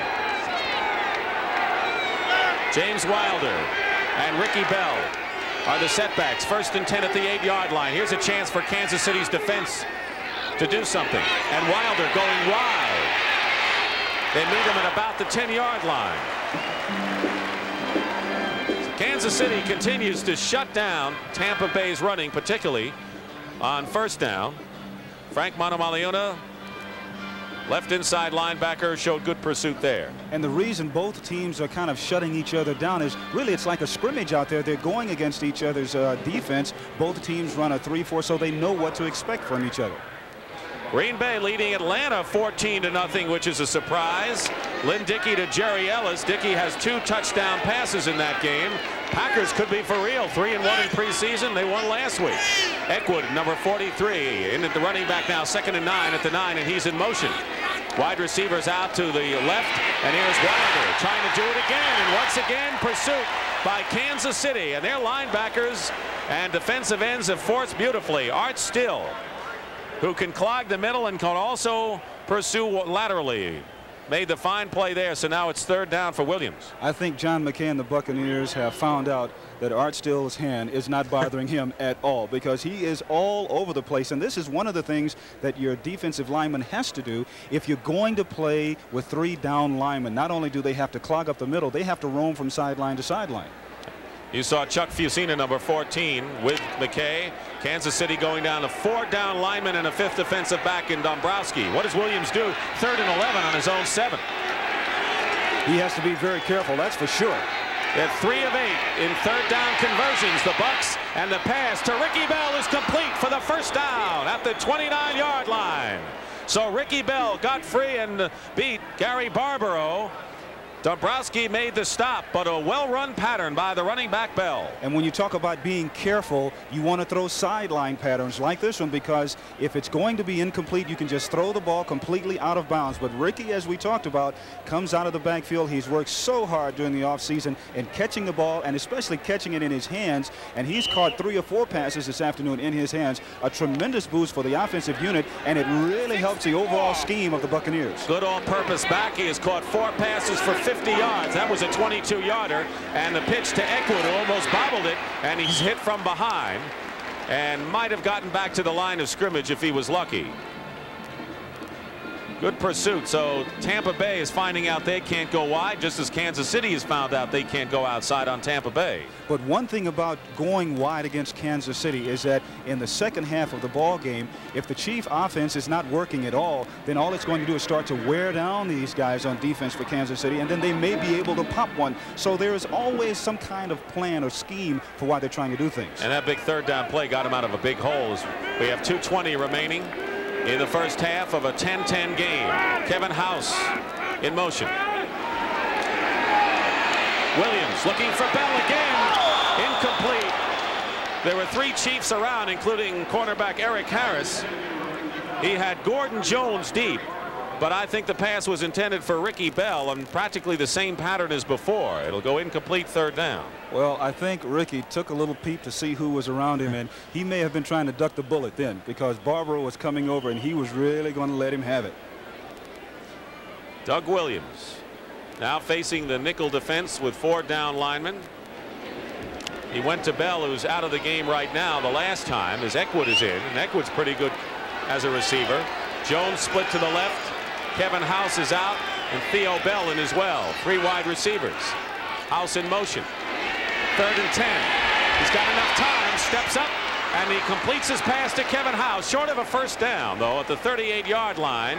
They are short of a first down, and Tampa Bay will have to punt. And good coverage by Gary Green, not letting House get the extra yard. Exactly right, and Green coming up and doing the job that he is supposed to do. And even though they got a big gainer out of it, it's still short.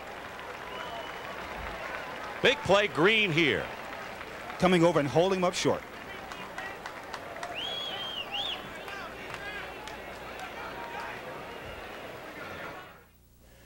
Without a guide, life can be a jungle. Beautiful, but dangerous. And when you're a child alone, with no one to look up to, growing up can be very frightening.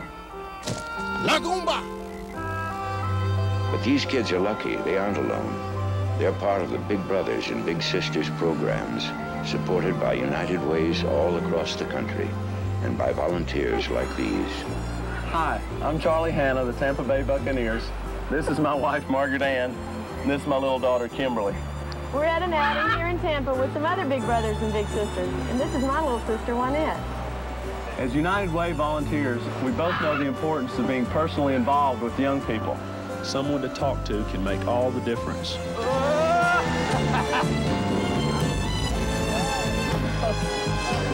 That's why we'd like to say, thanks to you, it works for all of us. The United Way. The preceding message was furnished by the National Football League. Two minutes remaining in the first half. And Tom Blanchard with a fine punt and J.T. Smith who returned the last one 50 yards. Markers are way back. Penalty marker down as Smith is tackled at the 31 yard line. Last time Smith returned it, it was 50 yards. The longest punt return against Tampa Bay. Got this back 15 yards, which is pretty good in its own right, following a 47 yard kick. So we're tied 10 10. Two touchdowns on the run in the first quarter, two field goals here. And it looks like another Mm-hmm. penalty against Kansas City puts them even deeper in the hole with that conservative approach of theirs. Who knows what will happen now? Well, they had 11 penalties last week against Pittsburgh, survived that and won the ball game nonetheless. And they've been hit with uh, bad timing on penalties. Not so much the number so far today, but uh, when they happen. Illegal use of the hands, number 34, first down. That was Lloyd Burruss. And Burruss, who started the ball game after being beaten a couple of times by Jimmy Giles, has been taken out. He goes back in on special teams, commits this mistake. It's a tough afternoon for that young man. Well, Bill Nelson told us that uh, Tampa Bay very impressed with three of the four defensive backs, and you got to work on the rookie. That's your chance. First and 10 at the 14 for Kenney, so he's really hemmed in in his own end now. In a 10-10 ball game. Kenney will throw on first down. And he gets it out to McKnight. And McKnight to the 17-yard line, maybe three yards on the play. Hugh Green makes his first tackle of the afternoon. We haven't seen him much, but you're going to see him a lot in this league. He was the number one draft pick out of the University of Pittsburgh. His arrival on the outside for Cecil Johnson inside in the linebacking spot. He was late to camp. He's got things to learn, but he has that thing called talent, Jim. That's right, and he also has Leroy Selmon working on that right side too, which helps when Leroy is in there. Of course, he's out right now with a, a, a tendonitis in his knee. Timeout called for by Tampa Bay because they can smell another possession before the end of this half with 129 to go. So the Bucs have one more timeout remaining. The Chiefs have two, and it'll be second and six at the 18-yard line as John McKay trying to get his team back to where they were two years ago. He says we reached the top of the mountain and then all of a sudden got a little complacent and now we have to realize what got us there and that's what they're trying to get again this year. And he, that's exactly right. Uh, his approach to uh, the season this year is not to even talk about what happened in their championship year, but to remind the people just a little bit of once you get up on top, it's very tough to get up there, but it's very easy to slip and fall back down. I want to remind you that Brent Musburger will bring you highlights of the NFL games played today at halftime, live from the CBS Sports Desk in New York City, as well as a feature on defensive backs. And I know Jim Hill for years has felt that they're an underrated lot, right? Absolutely. I just hope that there aren't any lowlights of me and they're getting beat. Uh, you had a distinguished career, but I know you like it better up here. That's exactly right. So do we. Second and six at the 18-yard line. Following that Tampa Bay timeout, they have one to go. Kenney has a lot of time. And he throws that away, and that was a miss pattern. He had Carson deep. And no one really near that pass play. So it's third and six, and Kansas City has gained just 50 yards and two first downs on offense, 20 yards rushing and 30 yards passing. When you're as predictable as Kansas City has been throughout the course of the afternoon, the def when the defense knows what you're going to do, it makes it very, very easy for them to come in with coverages designed to do certain things. And that's what uh, Tampa Bay is doing now. It's fairly easy for them now. Third and six at the 18. The Bucs looking to stop the Chiefs right here and get their hands on the ball. Kenney out of the pocket and down at the 22, short of a first down by nearly five yards as David Logan, the nose tackle, caught up. And Carlos Carson was wide open downfield. So I have to think right now that Kansas City is a bit unraveled on offense. Just a little bit, and also the inexperience of Kenney not being able to look over the entire field. Carson is, is wide open, but on this play, Kenney is looking to the right side instead of looking all over the entire field to spot the wide open man. So this will just come with uh, with more experience. And the Chiefs now 0 for 6 in third down conversion. So with fourth down, and they've got uh, they're closer to the first down than we figured, about a yard and a half away. but they will kick it. And Tampa Bay has used their last timeout of this first half. So they feel with 59 seconds now remaining in the first half. They get good field position. They can work it close enough for a possible Yepremian field goal. And especially the way that Doug Williams has been throwing the ball this afternoon. He can, there's always the deep threat, but in addition to that, the, the uh, backs coming out of the backfield have been doing an excellent job of catching, so that puts more pressure on Kansas City. Grupp has done better each time. 28-39 last time a 46-yard punt. Theo Bell is at the 36-yard line for Tampa Bay. And going back to help Tony Davis. He'll be kicking from inside the 10.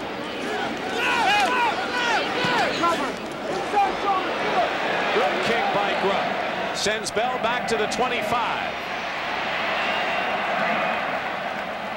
And he's ganged up on the 31-yard line. So the clock will stop on the change of possession with 47 seconds remaining in the first half. And so, you know, Doug Williams will be going through the air to get things close. And we also have to think of the uh, sideline patterns with no timeouts remaining for Tampa Bay.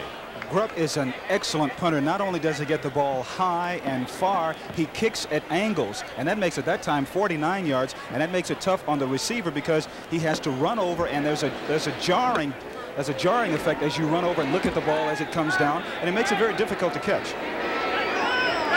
Jimmy Giles now is playing at wide receiver up on the line on the left side along with Kevin House and Gordon Jones. So you know Williams will go to the air. Art Still is chasing him from behind and trips him up at the 34-yard line. The clock continues to run. So Art Still doing it all this afternoon. Caught up Williams from behind as you look at the clock running and Tampa Bay's got to hurry up and they do it without a huddle.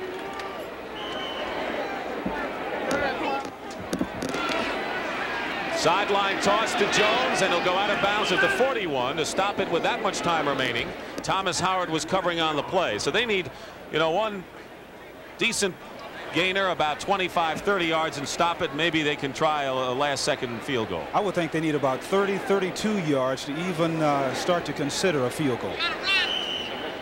Eckwood and Theo Bell come in and Ricky Bell and Wilder go out. So they may just send the whole gang of them out on this one huh? That's the time remaining and no timeouts remaining for Tampa Bay. Kansas City really covering deep.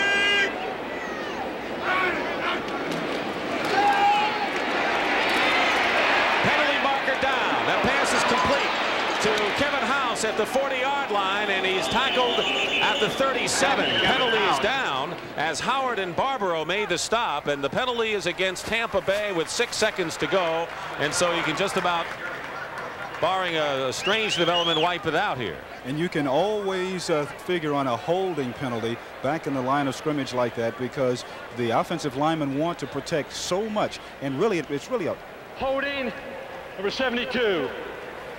And with the new rules, which let the offensive linemen stick their hands out and push away, it really has to be a blatant call of holding to call it like that. That was Ray Snell, the left guard. Actually, if that penalty had not been thrown, the half would have ended. They would not have been able to get another play off. So with six seconds to go, even though the ball is back at the 31-yard line, at least they have one last shot. Gordon Jones, third year from Pitt, 84 wide to the left. Kevin House to the right. And they go to the ground. Wilder on the draw play. And that'll do it for the first half. So the Kansas City Chiefs have not done anything on attack. Doug Williams has done everything through the air. And I think the Kansas City Chiefs are fortunate that they're in a 10-10 tie thanks to their defensive unit. It takes two wheels to have some fun. And you need two more to get the job done. But what can you do with three? Just try the Honda ATC. Eleven years ago, Honda invented the ATC three-wheeler. And ever since, folks have been inventing new ways to use it. Follow the leader, he's on a Honda. Last year, the Trane company promised you new, better, more energy-fit products. And they're keeping that promise with air conditioning equipment to cut big building energy costs up to 20%. Trailer refrigeration units to save 15% on fuel. And for home, Trane air conditioning like this, made 50% more efficient than before. 28 energy fit products in all. Not bad for starters. Here's two good friends. Tonight is kind of special. Hi, Alex, Alex, I'm just coming out to look for you greenhorns. We took a little detour. Little detour? Little detour for what? Well, we want to say thank you for putting up with us these last couple of weeks. So we stopped at the store and picked up some Lowenbrau. Well, by golly, you city folks are all right. When you want the taste of a truly great American beer, tonight, let it be Lowenbrau. Uh, we had such a good time. We're coming back next year. Okay, but don't tell my horses that. Coming up on CBS Sports Saturday. Next week, Pleasant Colony continues his quest for Horse of the Year honors as he races for the Marlboro Cup. In two weeks, Roberto Duran continues to fight his way back to the top as he steps into the ring against Luigi Minchillo. Then, in three weeks, Boom Boom Mancini continues the pursuit of his dream as he faces three-time champion Alexis Arguello for the WBC World Lightweight Championship. The excitement, the drama, the dreams, all coming up on CBS Sports Saturday. Welcome back to the news desk in New York. And Irv, we've got some surprises. Right now, the Green Bay Packers have ambushed the Atlanta Falcons 14 0 at the half. Lynn Dickey has thrown for better than 200 yards and two touchdowns for Bart Starr in this game. Now watch here as Dickey goes to James Lofton for 37 yards. One of the things you want to do, Brent, is try to get a guy like Lofton, who's about 6'4", matched up with the Falcons' corners who are fairly short. And Lofton's having a field day this afternoon. Now they're going to throw a touchdown pass to number 67, Karl Swanke. Can they do that, Irv? They can do it. He's an eligible receiver. All he has to do is report to the officials. He's normally an interior lineman, and I think it confuse the Falcons secondary. So the Packers are hitting them with a little bit of everything. And of course, the key man now out of that backfield has got to be Gary Ellis, number 31. He must replace the injured Eddie Lee Ivory the rest of the year. So at the half right now, the Packers are ahead of the Falcons 14-0. And next Sunday here on CBS, a key doubleheader game. We'll show you those Green Bay Packers in action against the Los Angeles Rams. And right now, the Rams are struggling mightily down in the Superdome. Los Angeles Rams, New Orleans ahead. Now, Houston leading Cleveland on a Toni Fritsch field goal. The count there is 3 to nothing. Tampa Bay and Kansas City, the game you're enjoying, 10-10. And I would have to agree with Dick Stockton. I think the Chiefs are very lucky not to be behind in this contest. That Doug Williams is starting to come along, isn't he? Now, unfortunately, they messed up the snap here, and they smothered Blanchard, and that set up the Chiefs' first touchdown. And it was Teddy McKnight, seven-yard touchdown run, bit of an underrated football player, doesn't get much ink, he scores a lot of touchdowns. James Wilder, a youngster from Missouri, now in that Buccaneer backfield on a pitch out. He'll get a couple of yards in here. And now we're going to show you one of Irv's favorite players, J.T. Smith. Oh, how you love these punt returns. Indeed, I do. But you know, Marv Levy, the head coach of the Kansas City Chiefs, came into the league as a special teams specialist. He spends an awful lot of time on punt and kickoff returns, and that's the reason why, because you can break a game open with one play in a hurry. So Kansas City and Tampa Bay are all even right now. And of course, that game is at the half 10-10. The Giants and the Washington Redskins, they are struggling mightily down in RFK. No score, no highlight, no excitement in that one. Buffalo over Baltimore 7-0.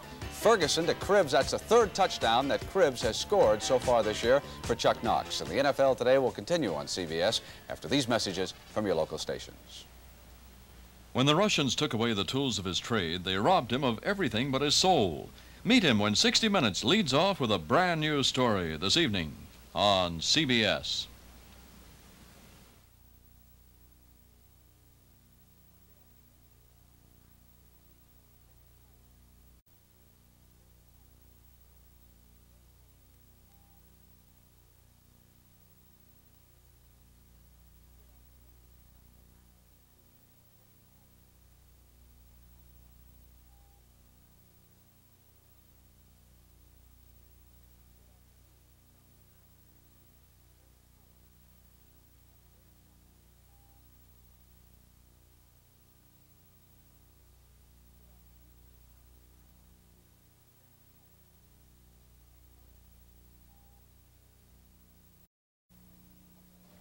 Welcome back to the news desk in New York. And you know, a couple of rule changes before the 1978 season helped boost scoring tremendously around the league. Offensive linemen were given greater freedom in pass blocking. Bumping and pushing by defensive backs were restricted. So the defensive back has acquired new value, and that meant sweeping changes for one team. Each week, defensive backs spend 60 grueling minutes dueling Mercury quick wide receivers.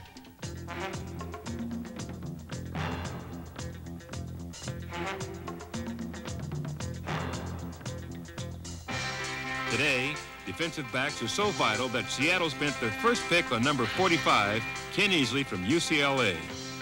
Easley and Atlanta's Bobby Butler, number 23, are among 12 defensive backs picked in the first round in the past two years. One team in dire need of secondary help was San Francisco, a club that surrendered 29 touchdown passes last year. Boldly, 49er management drafted four defensive backs. Three of them are starters. At left corner from USC, 6 feet, 205-pound rookie Ronnie Lott. At right corner from Missouri, at 6 feet 1, 180, rookie Eric Wright. At strong safety from Pittsburgh, 6 feet, 200-pound rookie Carlton Williamson. We felt that if we're going to build a secondary, we might as well put them all together at the same time, start from scratch, and bring all these guys along at the same time. When we looked in the draft, we were looking for men in that 190 plus bracket and over six feet tall, and that's basically what we got. At one point, teams were going with smaller corners, but nowadays you like a bigger man. Uh, there's no question that size going for a football makes a big difference. It's also the question of going 16 games and being able to stand up to the contact. We had to find defensive backs who were more pure athletes, kids who could run and jump and leap, and kids who had great speed and great, great recovery ability. I mean, just pure athletes so that they could cover somebody in the open field. Go up in the air, Ron. Pull it down hard. These young athletes have to compete with the Rashads, the Swans, and the Pearsons. They must be agile, quick, smart, and daring if they are to have a chance. You're going against some of the greatest receivers, you know, across the country, and uh, each week you got your work cut out for you. They get frustrated sometimes, and you just have to tell them that, you know, if you're going to play defensive back in the NFL, you're going to get beat sometimes. In their debut against Detroit, the rookies played well, but not well enough to win. I think we're growing as a, a unit back there, and uh, I think that our secondary and our defense will be uh, reckoned with throughout the league in a few years. I just hope that I'm around three or four years from now when these guys mature because I think they're really going to be something.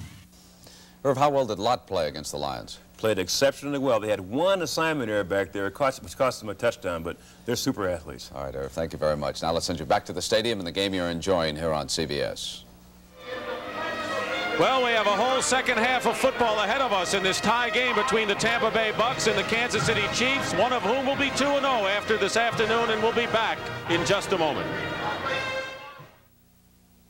There's a hungry kind of feeling, and every day it grows. You know there's so much more to you than anybody knows. Specialist Kevin Crowley is working with tomorrow's technology in the Army's newest tank. The laser determines target range and feeds it to the computer. It's just incredible.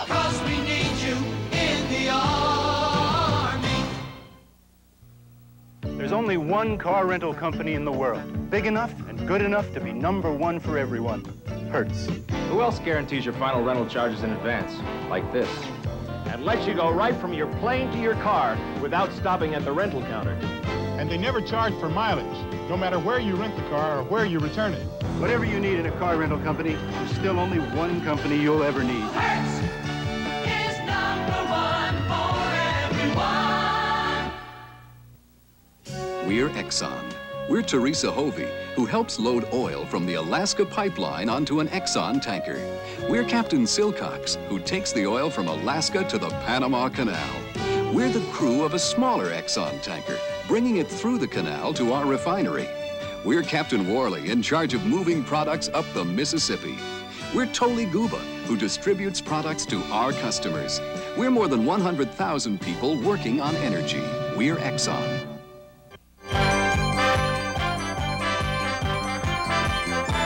CBS sports coverage of the National Football League is sponsored by Lowenbrau. When it's time for the taste of a truly great beer, let it be Lowenbrau. The tough Americans, American Motors, AMC, Jeep, and Renault dealers. And by RCA's Color Track. Getting the color right is what Color Track is all about.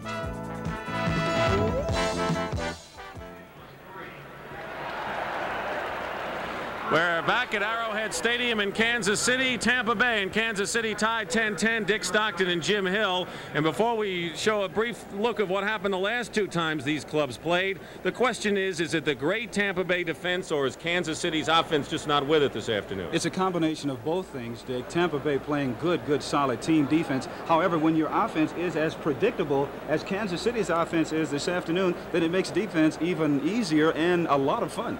Do you foresee a change in the second half? I guess not. That's Marv Levy's philosophy, right? Well, I would think that if Kansas City wants to win this ball game, they're going to have to do a few things, and that is change up their offensive philosophy on first down and uh, throw the ball just a little bit more. But they're going to have to get good field position. They've started out so many times throughout the course of the first half, backed up in their inside their own 25, uh, 30 yard line. And when you have a conservative offense like that, you really can't uh, throw the ball even if you want to. And Tampa Bay has still not been able to run. No, they haven't been able to run at all. Both these teams play a 3-4 defense, and it's much like a scrimmage. However, I think that with Tampa Bay continuing to run to the outside, you combine that with uh, Kansas City not playing well on offense, their defensive unit might get tired later. Last time the clubs played was a, a banner afternoon for the Tampa Bay Buccaneers. They might as well be Ducks because the game was played in Tampa Bay. It was the last game of the regular season. A monsoon against the Chiefs. It was a 3-0 game, and it wrapped up the Central Division title for the Bucs. The Bucs really like that. They like to play in that kind of weather all the time if they can come away with the win and a championship.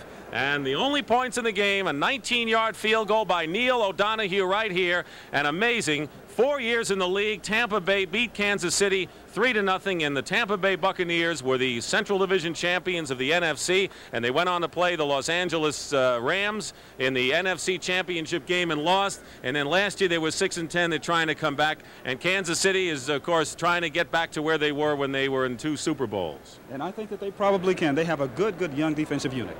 All right, so the teams are on the field right now as we look at first half statistics, and you can't get any smaller numbers than what the Chiefs are showing. You certainly can, but once again, the game is tied at 10-10, and that's the only thing that really matters. Statistics means nothing if you can come away with a win.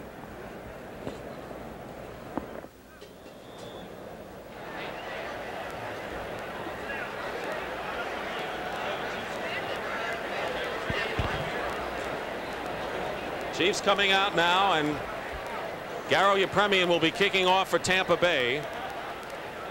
Chiefs going on offense, and if there's going to be any change in the predictable offense, we might see it right now. They have average Kansas City less than two yards on first down. You talked about how important it was for them to pick up some yardage on first down rushing. They have run five times and passed twice on first down plays. They were successful early, and then, of course, uh, the most they have gained on first yard was a two-yard run by Delaney in their fourth possession. They have been so predictable this afternoon that it has been a lot of fun to play defense for Tampa Bay. They're going to have to open it up just a little bit. I know that their thinking is rather conservative, but they have to change. You saw Carlos Carson deep, and Garo Yepremian put the boot to it at the two-yard line. Here's Carson.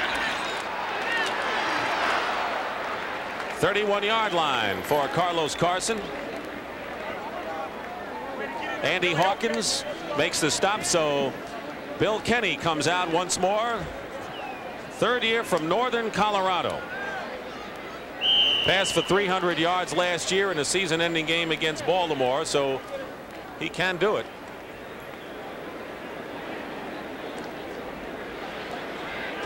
J.T. Smith, number 86. And Henry Marshall, number 89 to the wide receivers. James Hadnot, 48. And Ted McKnight, 22 of the setbacks. And a play action pass on first down. And coming in, storming in, Kollar came in from the defensive line, and David Lewis. Or no, it was Hugh Green. Hugh Green came in from linebacker on now, a blitz. Now, the thinking is pretty good here as far as Kansas City is concerned. However, there is a breakdown in the offensive line because as uh, Kenney goes back to pass, he gets hit. The ball is is not being able to uh, get out and be completed. Look at Hugh Green coming in, and they really put it on Kenney here. I see how Kansas City already is trying to make that particular change, but up front is where they're having all the problems. Well, Matt Herkenhoff was surgery on both knees, and uh, he was beaten there by Hugh Green. Stan Rome, J.T. Smith, and Carlos Carson out to the right, second and 10. And the pass is caught midfield, fumble. Kansas City still has it. J.T. Smith made the catch, fumble it. And let's see who picked up the loose ball. It should be a first down for the Chiefs in Tampa Bay territory. A 24-yard pickup.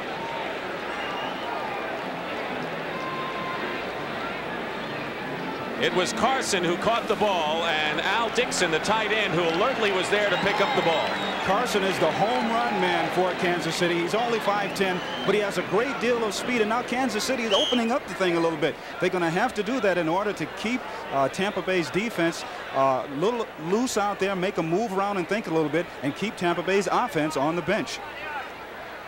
Carson in motion now toward the line. First and 10 at the 48-yard line. Goes back the other way. Ted McKnight with Hadnot blocking. That's nowhere as David Logan, the nose tackle, just broke through the offensive line and made the play. Tampa Bay doing a superb job stopping the run, and you know they can cover deep. They certainly can, but what you don't want to do now as far as Kansas City is concerned, you don't want to give Tampa Bay a chance to get settled down and make a couple of necessary adjustments. You want to keep the pressure on them. You want to keep them thinking exactly what's going on out there because once they get settled down and get in the groove, they're tough. You know, that last pattern, the completed pass to Car uh, Carson was exactly what the coaches told us they were looking to do against that zone defense. Second and 11 at the 49. McKnight gets good yardage, and McKnight has a first down inside the 40-yard line. They'll be very close to a first down at the 39. They may have a measurement. Cedric Brown the free safety number 34 made the stop, but look at this hole. McKnight heading up to the inside as we talked about him being one of the best uh, inside runners in all of pro football, and that's a perfect example why I got a good block there from Tom uh, Condon, the uh, right offensive guard, and now the Chiefs are starting to move. Al Dixon comes in along with Willie Scott, number 81, two tight ends on short yardage. It'll be third and less than a yard.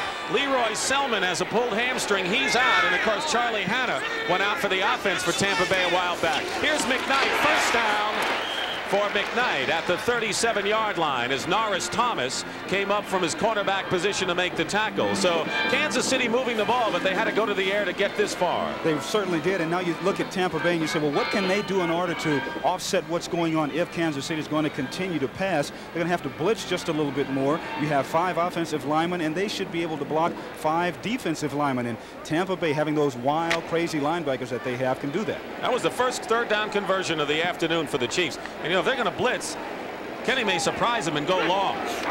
First and 10 at the 35. And the pass is intended for Willie Scott, and he was hit hard by Richard Wood, a linebacker.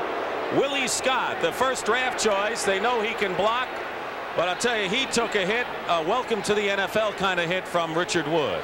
Those are the kinds of plays you must have from your linebacker. And actually on that play, Whitney Paul, number 53, or rather, uh, not not Whitney Paul, but Hugh Green came in from the left of your screen. He blitzed for Tampa Bay, and that's what really got uh, Kenney confused just a little bit.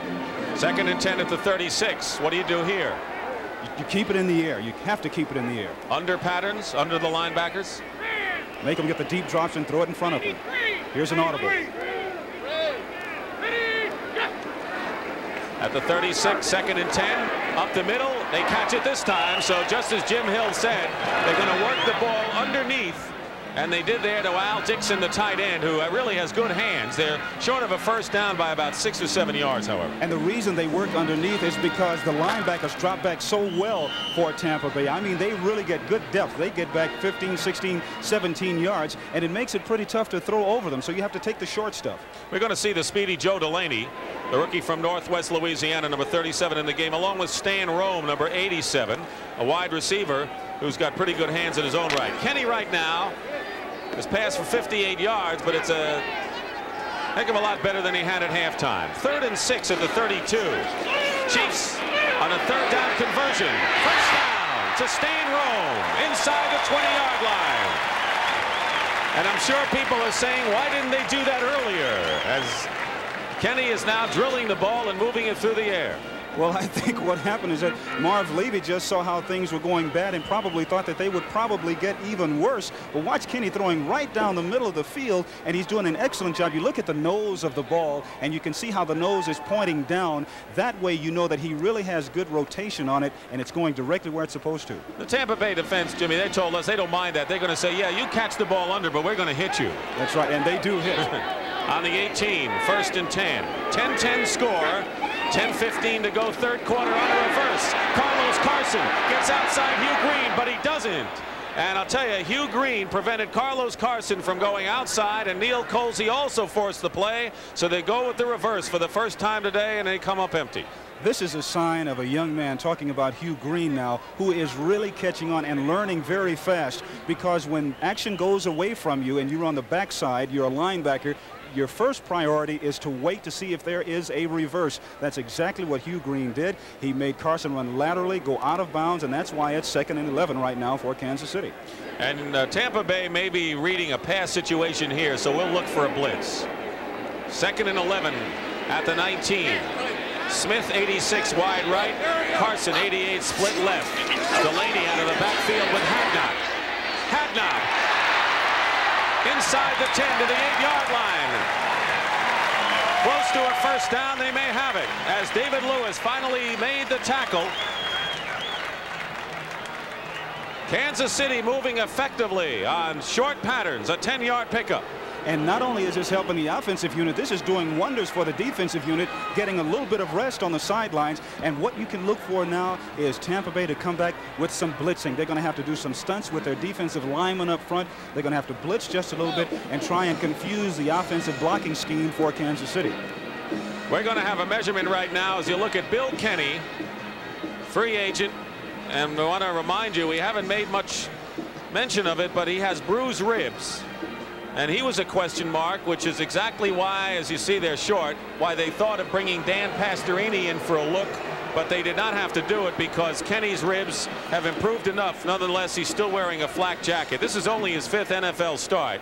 He had a superb game against Pittsburgh last week, 242 yards and two touchdowns. And uh, he happens to be a guy who wins three out of four times he started. I would describe him right now as a computer quarterback because he's doing exactly what he's told. Third and one, actually less than a yard. Dixon, Scott, and Beckman, three tight ends for the Chiefs. At the nine, Hadnot has it. First down, Kansas City, and the Chiefs are threatening to take the lead here with 9.15 remaining third quarter. And running at angles is the way that you run at Tampa Bay, giving your running back an opportunity to run inside. And if he sees it's congested, he can dip it to the outside. And when you have a big, strong running back like uh, Hadnot, my goodness, he's 240 pounds. He's like a little pickup truck out there. So now they take out two of the tight ends. Willie Scott, 81, comes in for Dixon. J.T. Smith and Carlos Carson in at wide receiver. First and goal at the six-yard line. Ted McKnight. Good play by the Bucs defense at the five by Neal Colzie. So it'll be second and goal. Chiefs trying to take the lead and John McKay.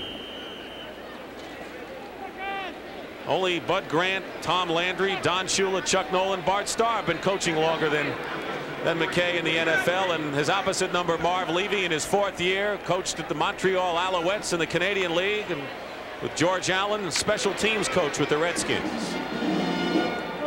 Fourth year for Levy, got a new contract, so that situation settled down. Second and goal at the six. Kenney. Men's final. Bjorn Borg, John McEnroe, two of the best going for it at the U.S. Open Tennis Championships. Borg desperately wants to win the U.S. Open. McEnroe looking to make it three in a row. Or the other. That way you can find the running back to a specific area of the field, or you dribble it right down the middle of the field, hoping that one of the upbacks or one of the people who really aren't used to carrying the ball, that maybe they would get a hold of it. But you certainly do not want to let them get away with a big, big play from their special teams now. Two minutes remaining in the fourth quarter, a 19 to 10 game. Keep in mind that Tampa Bay needs two scores to win the game. Both clubs have the full complement of timeouts remaining. That's the drive. The Chiefs with a victory over Pittsburgh last week. And Tampa Bay beating Minnesota. Lowery will kick and James Owens is deep. A short kick. And Owens at the 15. Owens is tripped up.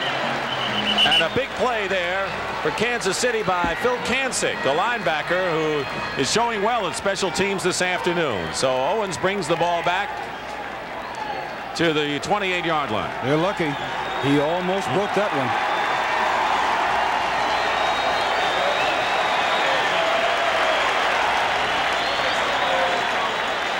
Next week, CBS doubleheader. Those games, and then Green Bay at Los Angeles. The Rams trying to come back and capture their tough game with the New Orleans Saints. They were well back early, and they've come on strong. The Green Bay Packers drew first blood and had the Atlanta Falcons on the hook. But the Falcons have come back to take the lead in that one. And out in the Los Angeles area, Dan Pastorini is floating around, I understand, too. That's the time remaining. Well, there's no secret, Williams. They haven't been able to rush all day. Uh, Tampa Bay has rushed for 12 yards against Kansas City's defense. So Kansas City stopped Tampa Bay rushing cold. And the Bucs have been able to move it through the air. But and what that, kind of patterns, Jim? And that's why it's been so much pressure on Doug Williams. Now he has to go on the shotgun and not waste a lot of time trying to use as much of the sidelines as you can. First and 10 at the 29. They go from the shotgun right off the top, and the pass is incomplete in and out of the hands of Eckwood, who was clear at the 40-yard line. And that hurt. And a final score, New Orleans defeated Los Angeles 23 to 17. The Rams came close as Haden hit Dennard with 4.10 to go to bring the Rams to within six. But the Saints held, and now L.A. will go back home next week to face the Green Bay Packers on CBS with an 0-2 record. And the controversy will start immediately out there. And you're going to be reporting it during the week. be right in the middle of it, yes. Second and 10, that's the time remaining. Chiefs have two timeouts remaining. Bell and Wilder the backs. Up the middle, Ricky Bell holds on. First down at the 43-yard line. Tampa Bay has to rush up. They don't want to use the timeout now. Clock running 130 now 5 remaining in the fourth quarter. Kansas City taking the time getting there and they let the clock run. Williams again up the middle to Ricky Bell midfield. And now we have a whistle. No, we don't. The clock is still running. It is a little bit surprising to see them throwing right down the middle of the field and not using the sidelines. Ricky Bell can't hold on to that one. He is clobbered by Eric Harris. So the Chiefs now figuring they're going under all the way here. Played Ricky Bell awfully tough, but the clock stops. Well, Bell has played such an important role in this particular series for Tampa Bay that, uh, it, like I said before, I'm kind of surprised that they haven't thrown to the sidelines just a little bit more and try and preserve a little bit more time on the clock than they have. It'll be third and three for Tampa Bay. Ricky Bell has six receptions for 72 yards. T.O. Bell wide left. House to the right. And in the slot is the tight end Giles. Williams to House. Incomplete. Fourth and three. And Tampa Bay will have to go for it here as Gary Green, who's been watching Kevin House like a blanket most of the afternoon, and you can't really shut out a guy with House's speed. He's caught five passes for 96 yards, but I think that's a little deceptive. Green has made the plays when he's had to. And a lot of times statistics are very misleading because you want to come up with the big plays, and on defense, Green has come up with that this afternoon, whether he has knocked passes down or he's been covering people man-to-man -man all over the place.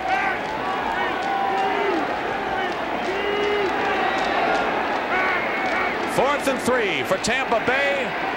They need the first down to keep it going, and they don't get it as the pass is deflected by Manumaleuga, and the Chiefs will take over on downs.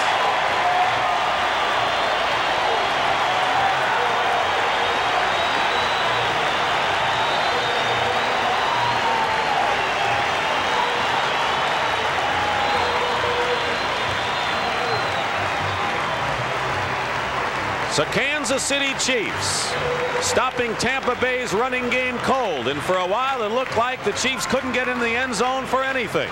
But Nick Lowery, on the strength of four field goals, plus a point after touchdown, has been the offensive thrust for Kansas City today.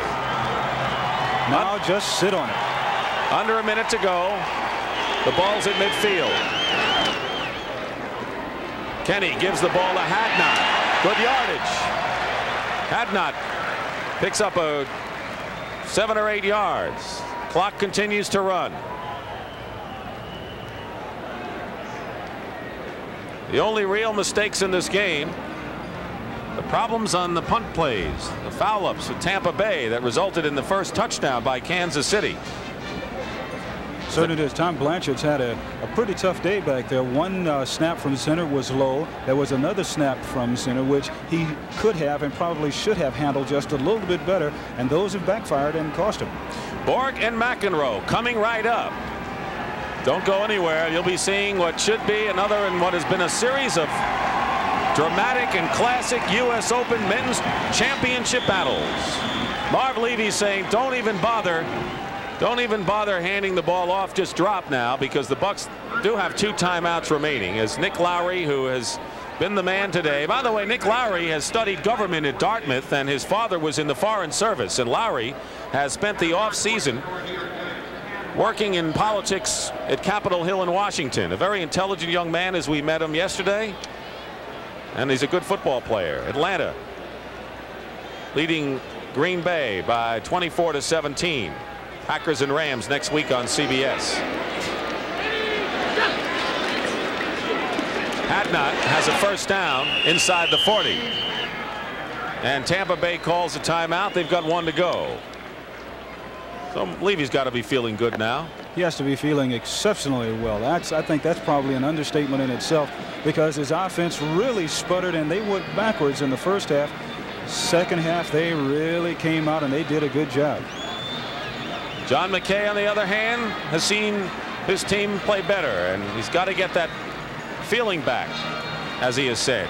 Well, their problem for Tampa Bay is their offensive line. As you mentioned, they have they I can't I can hardly believe that they got as few yards as they did rushing against Kansas City. And like we talked about earlier, how much pressure does that put on your quarterback and your receivers to come through? Plenty. As you said, run blocking was the problem. Tampa Bay knew they'd have to run to do anything against Kansas City. And Doug Williams, I think, has handled the pressure very well, considering that, you know, the predictable offense for KC early turned out to be predictable for Tampa Bay late. That's right. That's our score. First and 10 at the 39-yard line. And now Kenney will be happy to fall on the ball. And we'll have a whistle. And Tampa Bay has used their last timeout with 30 seconds remaining. The executive producer of NFL football is Terry O'Neill. The senior producer is Charles Milton III. Today's game was produced by Ed Goren and directed by John McDonough. Michael Albanese, associate producer. Want to thank everyone and our technical and production staff and hope you've enjoyed this game. Naturally, fans watching down in Tampa Bay will say, well, this was a game to win. Two teams just about at the same level, you'd think, Jim. They're both young, both good defensive teams, and an opportunity to go 2-0 for both clubs. It's been a long time for Kansas City being at this particular stage of the game early in the season. And, and young Bill Kenney, you have to take your hat off to him, the young stockbroker in the offseason. I'm sure that his stock has gone up with the last uh, couple of games that he's played. Tampa Bay has a big divisional game at Chicago next week. And the same can be said for the Chiefs because they have a very big division battle against the San Diego Chargers right here at Arrowhead Stadium. So that will should be the last play of the game. Tampa Bay out of timeouts and the Kansas City Chiefs in trouble early on offense open it up just enough and with a firm defense did the job and Jim Hill the Chiefs deserved it with a tough defense. They certainly did and this is one of the things that they had to do. Their linebackers played exceptionally well this afternoon. Their linebackers had that nasty attitude. Art Still up front. People thought that maybe his left arm was bothering him. He fooled all of them and they deserve a great great victory that they got. So this is Dick Stockton for Jim Hill. Where the final score in this game 19 to 10 Kansas City.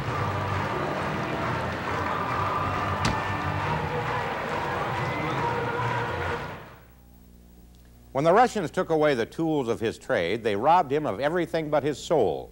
Meet him when 60 Minutes leads off with a brand new story tonight on CBS. This is CBS.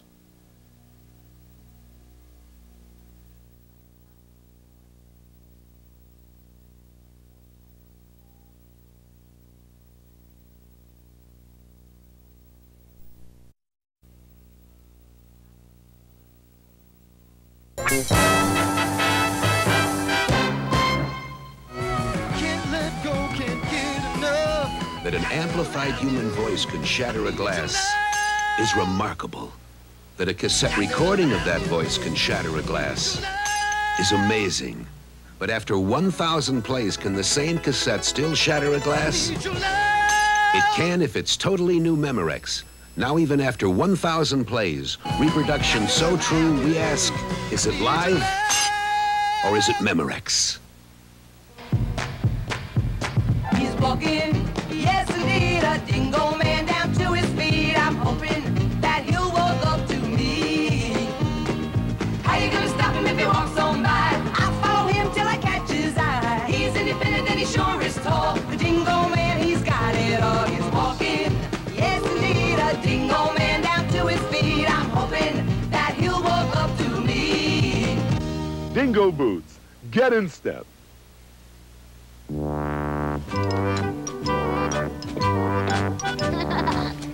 Gotcha.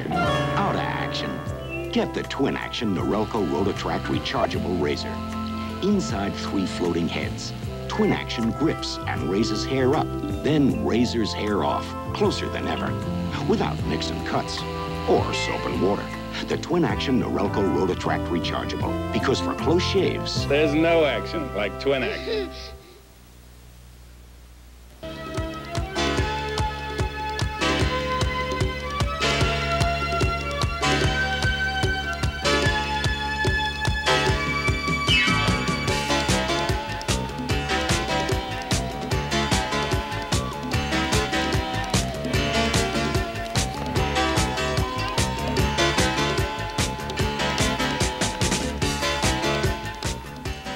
right, welcome back to the news desk here in New York. We have had still another join from a game that is over. I'll tell you what, let's get everybody up to date on the scores because we've got some finals breaking right now. It's over. The Atlanta Falcons have come back in the fourth period, and they have won that game by a score of 31 to 17. Meanwhile, in the Buffalo-Baltimore game, it is now 28-3. They have moved into the fourth quarter in that contest. Joe Ferguson threw three touchdown passes. Let's go back up now to that Atlanta game. 31-17. The game is over. The Falcons scored all of their points in the fourth quarter of that contest. They were trailing 17 to nothing coming into the fourth period, and they just erupted. And the Packers had a couple of critical turnovers in that game. One a pass interception, and another a fumble recovery. Now the New Orleans Saints down the Los Angeles Rams. 23-17 was the final score there. The Rams now dropped to 0-2 on the season. Houston is now a final. They down Cleveland 9-3 is the score in that game. Meanwhile, Kansas City over Tampa Bay 19 to 10. Nick Lowery goes 4 out of 4 in the field goal department in that game. The New York Giants come back. They spotted the Washington Redskins, the first touchdown of the second half of that game, and now it is 17-7, the Giants over the Redskins. Buffalo over Baltimore again, 28-3. And of course, still to come, it's Bjorn Borg and John McEnroe. We hope you've enjoyed the NFL today on CBS, and we hope you sit back now and enjoy some of the finest tennis you've ever seen. For Phyllis and Jimmy and Irv, I'm Brent Musburger. We'll see you a little bit later. CBS's coverage of the National Football League has been a presentation of CBS Sports.